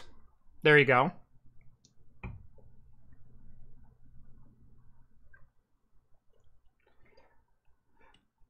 Also on an HL15 that isn't marked up, go price out a brand new, mind you, brand new, manufactured, built, delivered chassis. Chassis that is four mil thick, give or take, three mil thick, um, with rails. Go find a chassis that is actually up to that quality, that you would actually trust with 15 drives in it. I've had Rosewill chassis. I've I've had a number of different chassis. I've I've had in-win chassis at three hundred dollars that I don't know that I'd trust to the weight of fifteen drives. The only one that came close is the uh, the Chenbro NR twelve thousand, which was a single U twelve bay. Do you know how flimsy that was trying to get into the rack?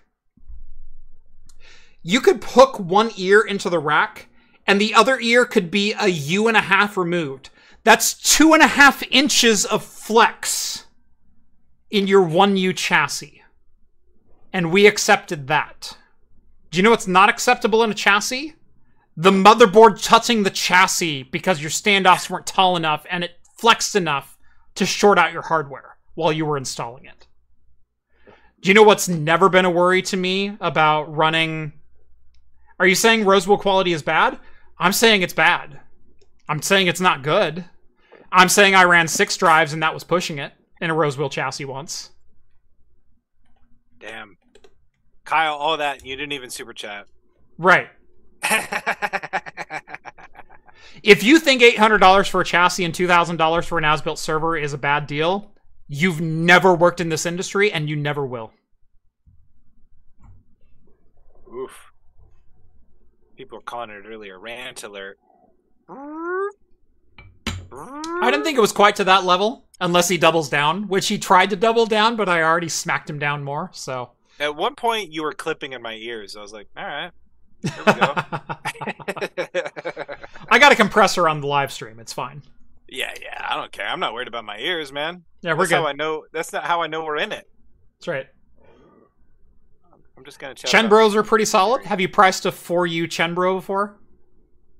A brand new 4U Chenbro? Because I have. Guess what they are? About six hundred dollars. Guess what they don't have? Sliding rails.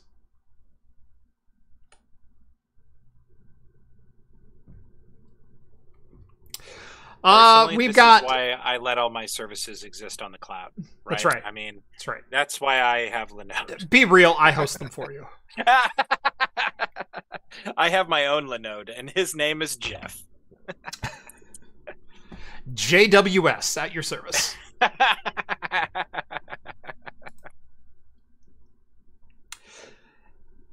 HL15 is worth the price, sadly too much for me. And that's fine.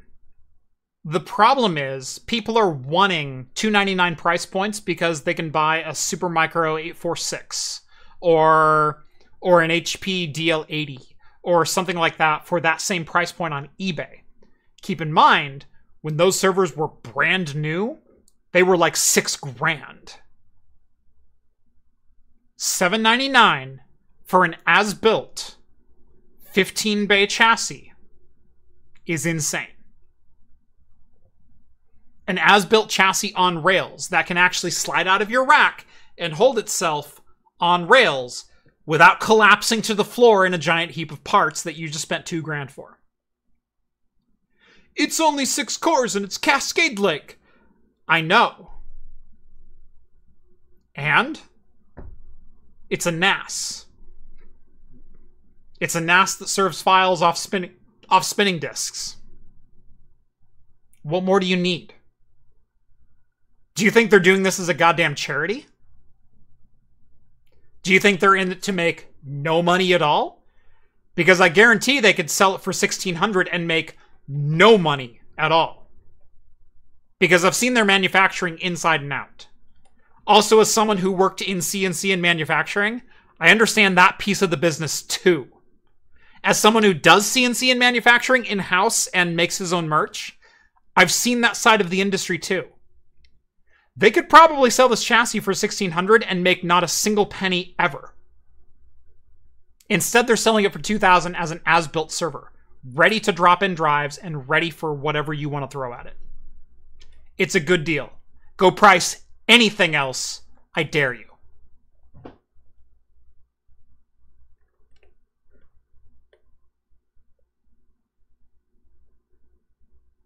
So,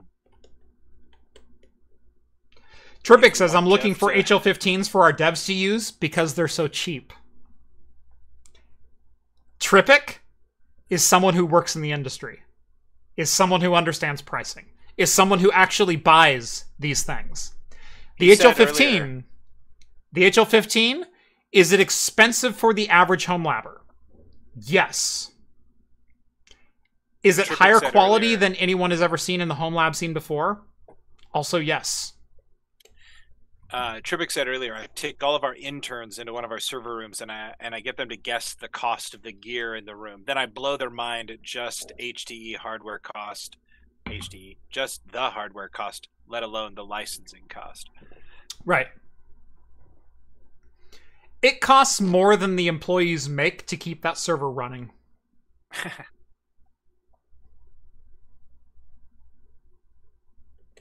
Yep.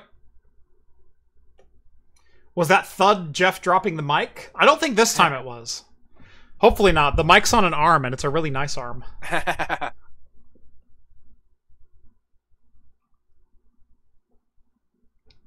Let's say you want to build a P4 cluster with top of the line 2019 hardware. What do you reach for? Uh, EPYC Rome, uh, probably a 7742 thereabouts. You get 64 cores, 128 threads. You get 128 PCI Express lanes. You got uh, what seven PCI Express X16 lanes? You can fit seven P4s or Lord help you, six P4s and some NVMe storage on top of that. So, yeah. Zachary chiming in, saving the day. We do have some more news to get to, and I'd like to rapid fire it here in just a moment. Zachary chiming in with $50 on this Valentine's Day. I'm going to give that a heart because I can. Uh, happy Valentine's Day to Mrs. Kraft. The woman must have so much patience to let weirdos on the internet do strange things to her husband for money and video cards. oh, Rev says she's not the producer for nothing.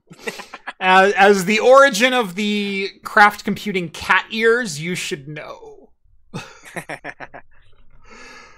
There was a great exchange between Zach and I earlier this week.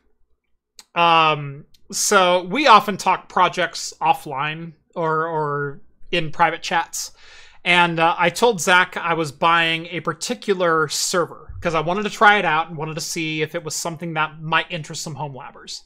It is a dual node EPYC server, 16 DIMMs per node, and so that is two individual PCs with dual 800 watt power supplies, each of which will support an EPYC CPU and 16 DIMMs of memory. You could, on a home labber's budget, build 128 cores, 256 threads, and two terabytes of memory. The base server, bare bones, is 500 bucks. It's insane.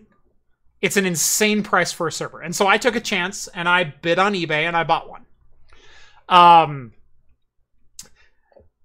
Zach had posted some pictures of some drives that he was looking at offloading.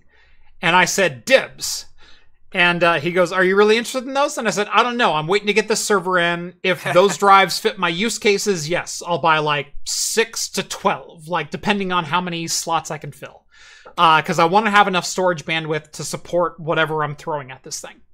And he goes, Cool. Well, I'm driving to California and I'll be coming back home on Friday. Tell you what, let's meet up on Friday and let's figure it all out. And I said, Perfect. And so I turned to my wife and I said, Hey, on Friday, I'm going to go out to lunch with someone because usually I'm home for lunch. And she goes, With who? And I said, With the dude who made me wear cat ears on YouTube for the lulls. And she goes, Oh, him. Meanwhile, Zach texted his wife and said, Hey, I think I might be going out to lunch with someone on Friday. And she said, Who? And he goes, Well, I'm stopping in Salem. And she goes, Oh, that YouTuber that you put cat ears on.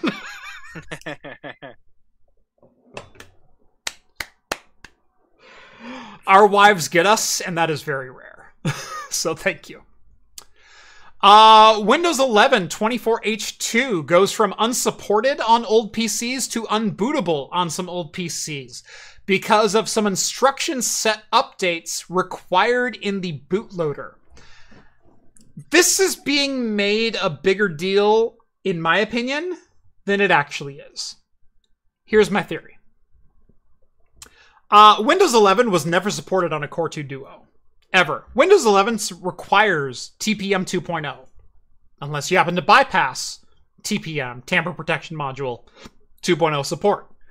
Uh, in which case, you can install it on just about anything, so long as it has SSE2 instruction sets, which every processor since the Pentium 4, circa 2001, has had the instruction set for.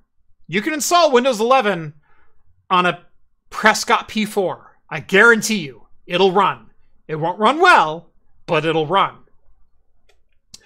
Uh, latest update for Windows 11 24H2 now requires uh, PopCNT, otherwise known as population count. It's an instruction set that was regulated as of the SSE 4 uh, if you're AMD or SSE 4.2 if you're Intel instruction sets. SSE 4 was implemented with AMD in their Athlon 64 lineup circa 2006. SSE 4.2 as of the core series of lineups, as in the core i7 920 Nehalem CPU from 2008 from Intel. If you have a system that is running Windows 11 that doesn't have SSE 4, you shouldn't have been running Windows 11. This title is entirely clickbait and applies to like 0.2% of the population. I understand unbootable and unsupported are kind of like interchangeable with some folks. Unsupported means you didn't support the instruction sets to begin with. Unbootable means screw you, we now need that instruction set to boot from.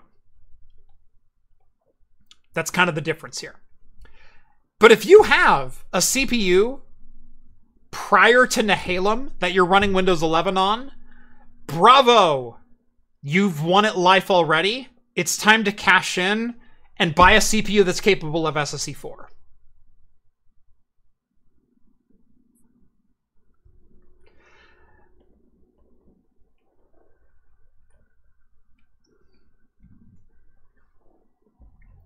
Uh, population count counts the number of bits in a machine word that would have been sent or different from zero.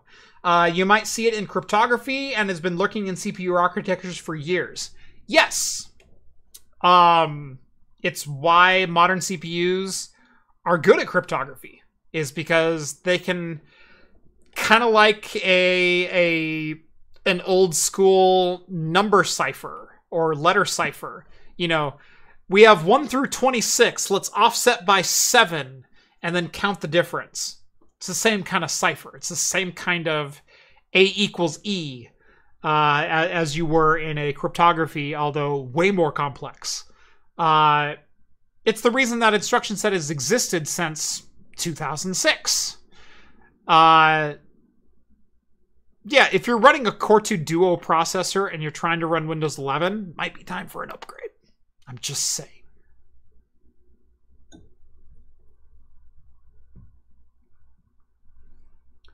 Uh, HP DL580G7 might not be the one you're talking about. Runs $250, not bare bones. Can go up to 40 cores and 2 terabytes. Uh, I'm assuming 2 terabytes of memory, so hold on. DL580G7.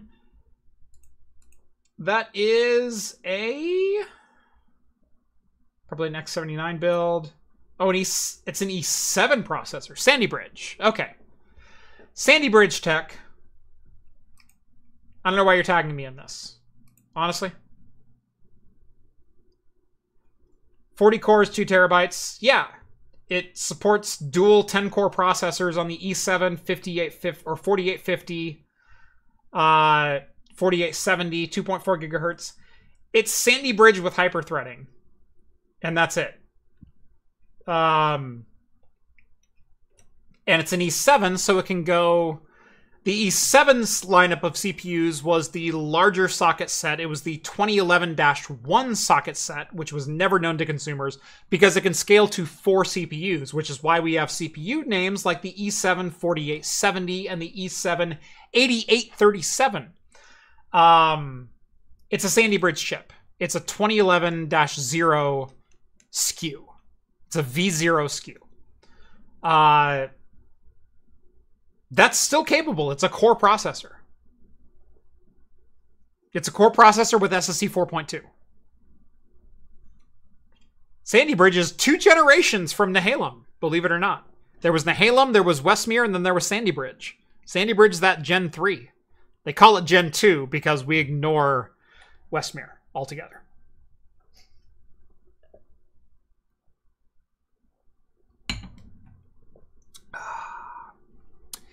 So yeah, uh, if you're reading the headlines about Windows 11 going unsupported to unbootable,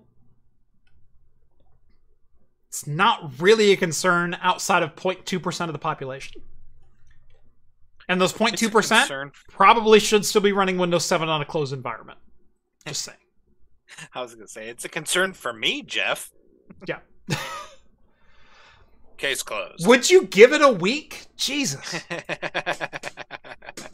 Look out, NVIDIA, and Microsoft is reportedly working on its own DLSS rival. I'm actually really excited for this one. Uh, so, Microsoft is looking at basically implementing their own AI driven frame boost, frame generation, frame super sampling uh, technology into DirectX. And that's cool. Uh, that means if your DirectX 12, 13, whatever the next num 12 1, 12 ultimate, I don't, I lost count of the marketing terms, um, you'd be capable of doing this regardless of your hardware support. If you are supporting DirectX 12, you are supporting this technology. And that's cool. The more players we get into this kind of game, the more we can take advantage of it as consumers. And look, while DLSS in the review game gets a lot of negative press, gets a lot of negative uh, scrutiny. It's just fake frames if they're doing frame generation. It's only rendering at such and such resolution. It's just upscaling to this. When has upscaling ever been a big deal? Remember Halo rendered at 540p and render and actually displayed at 1080? No one gave a crap on the original Xbox. No one cared because in the end of the day, it was still a good looking image. Look it up. Halo rendered at 540p. Um, FSR 2.0, Intel XeSS, NVIDIA DLSS, they are all hardware tie ins in some sense. They're all requiring you to have a buy in to a certain technology to a certain architecture of hardware and able to use it. If Microsoft is able to ball in a very similar upscaling technology into DirectX, into DirectX and utilize that not only in Windows but also on Xbox, that's a win for consumers.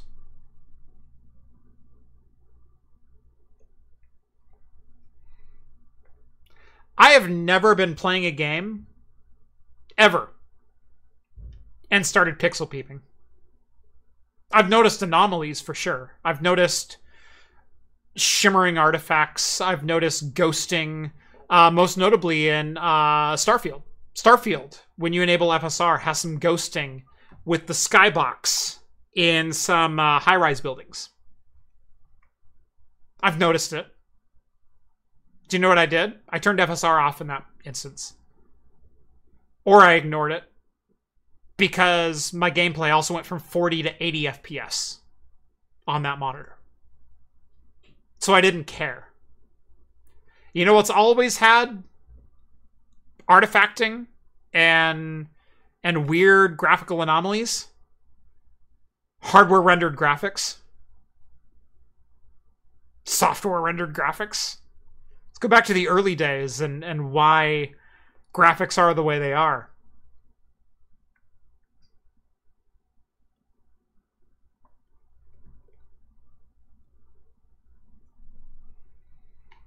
You take the good with the bad. If you want FSR enabled, cool. Maybe there's some artifacts.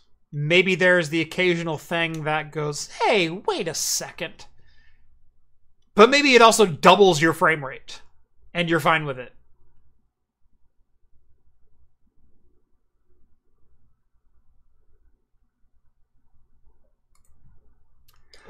Uh, after 12 years, Zelda speedrunners have made a discovery in Ocarina of Time.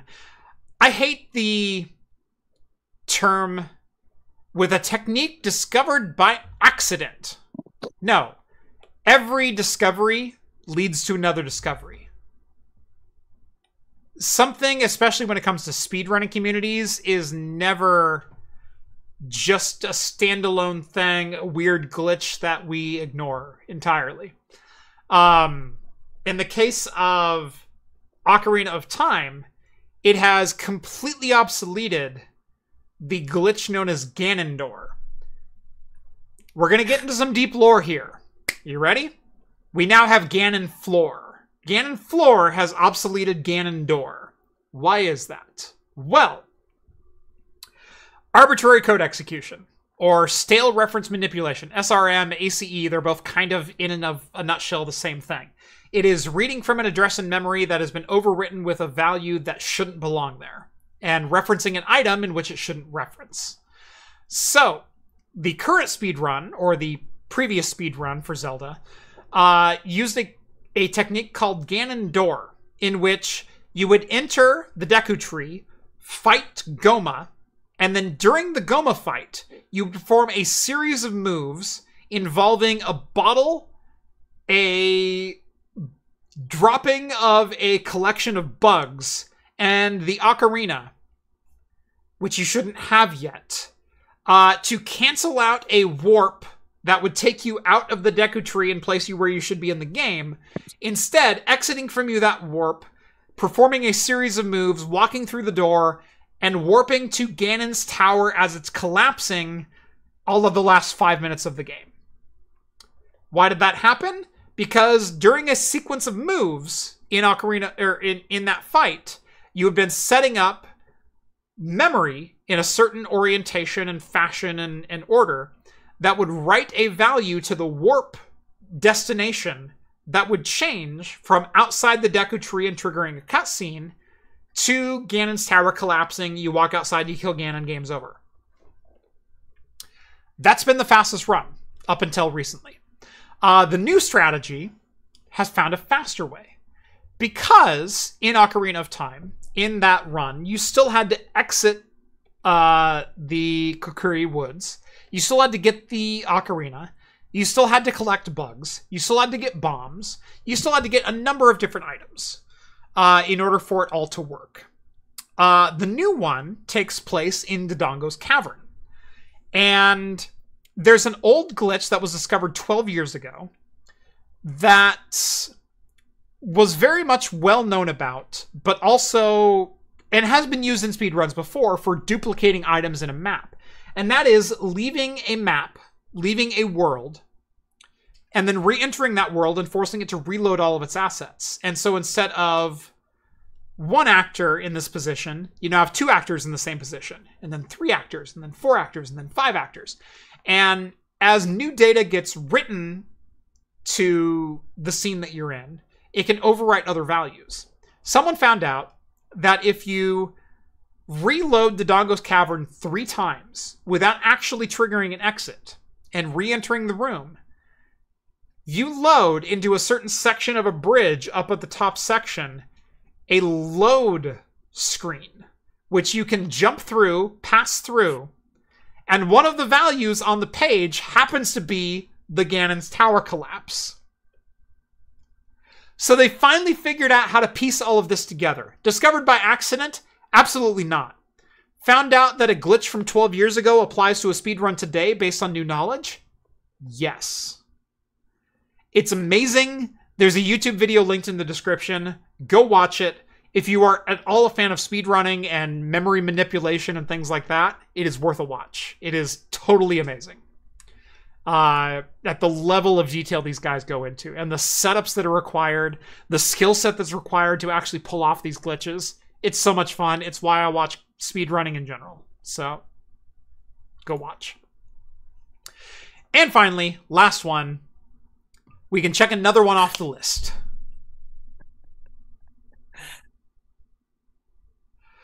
Uh, I'm glad we have our news shtick.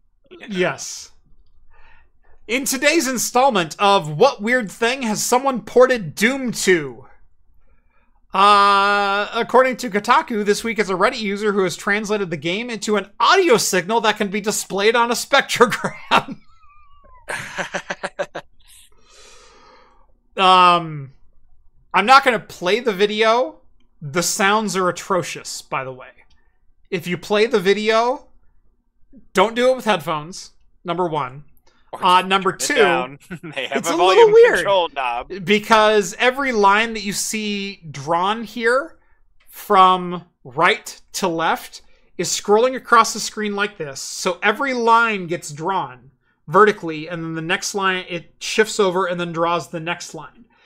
Um, and so, uh, the audio has to play to represent each individual pixel. And so someone has written a version of Doom that can play an audio spectrum file that can color in individ- individual vertical pixels at a rate of around one frame per second, maybe even less. It might be like a half frame per second. Uh, and the screen scrolls continuously right to left. It just does. Here's here's your bars as they're going across. That is a frame being drawn in front of you, but the next frame is following it. It's like a roll of film that you're out of sync with. Uh, but he can present inputs to this screen and play the game as it exists. And it's amazing. Video link is also down in the video description. Go check that out. I saw this one and couldn't resist. So. Spectrogram. Didn't see that on my 2024 bingo. Right. Yeah. I bet you can play that on your clarinet. Yeah. Oh, I. You know, that's kind of funny. Using your uh, tones as controls. That might be kind of fun to play Doom based on uh, notes on a clarinet. I mean, I have the elect, I have the WX5 and the WX7. It's MIDI. I can turn MIDI into joystick commands. That's not a big deal.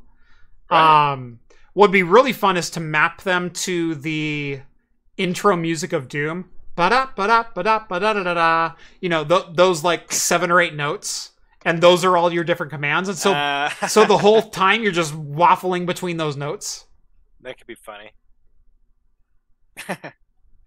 Um, if you didn't know, there is a Mario 64 drum percent category.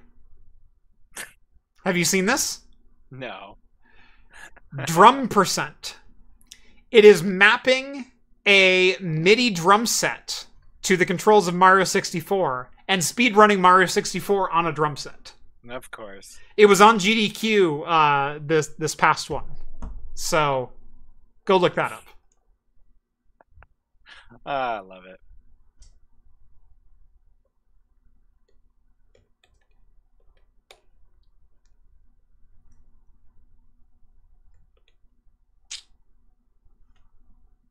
Yeah, we did a pretty good show tonight. It was a We good had show. a pretty consistently high viewership. Yeah. It was like above 200 most of the show. Yeah. Proud of that. Uh, recent shows have been. It, it, it it's it's it's been a great growth uh, the last couple of months. Uh, for like a year solid, we were stuck in like the hundred concurrent, Yeah. and then maybe around since November, it's been a steady climb. And tonight, uh, we we peaked at two thirty two. Uh, we've had fourteen hundred viewers in total. Uh, so yay you! Thank you all so much for tuning in. This has been Yeah. fantastic.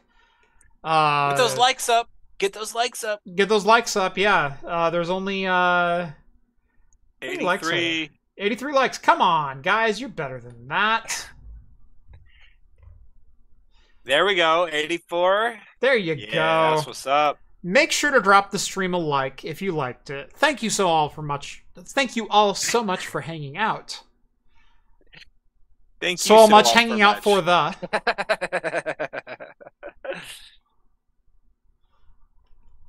Hit the thumbs up, ladies and gents. Thank you so much, Aaron. You said it way better than I did. Uh, if you like this video, make sure to hit that thumbs up button. Subscribe to Craft Computing if you haven't done so already. Catch me on the social medias at Craft Computing. Uh, Rett, have anything for the good of the order? Anything to plug? Any any other outlets that we can catch you at? Yeah, you know, uh, I am not as active on Mastodon pretty much ever. Come find me on Bluesky, which um, you know I've been enjoying while it was closed. Now it's open, so come join us over there. I'm at rettisawesome.com because you can also find me at rettisawesome.com. Hasn't been updated in a while, but that's where I'm putting all my um, project updates and things like that. And uh, you can check out my Dungeons and Dragons podcast. Uh, and at the end at dndpodcast.org check out our once a month live stream where we play other games. Uh, like we played Goblin with a Fat Ass, which was a really fun one page RPG by the creators of Lancer. And uh, last time we played Troika, which was a fun rules light RPG as well. So check those things out. Sweet. As always, thank you all so much for watching. Join us every Wednesday night at 6 p.m. Pacific time, right here on YouTube or on your favorite podcast website, whether that be anchor.fm or wherever your favorite podcasts are found. And as always, we'll see you next week. Cheers, everyone. Cheers. This was a really good beer tonight.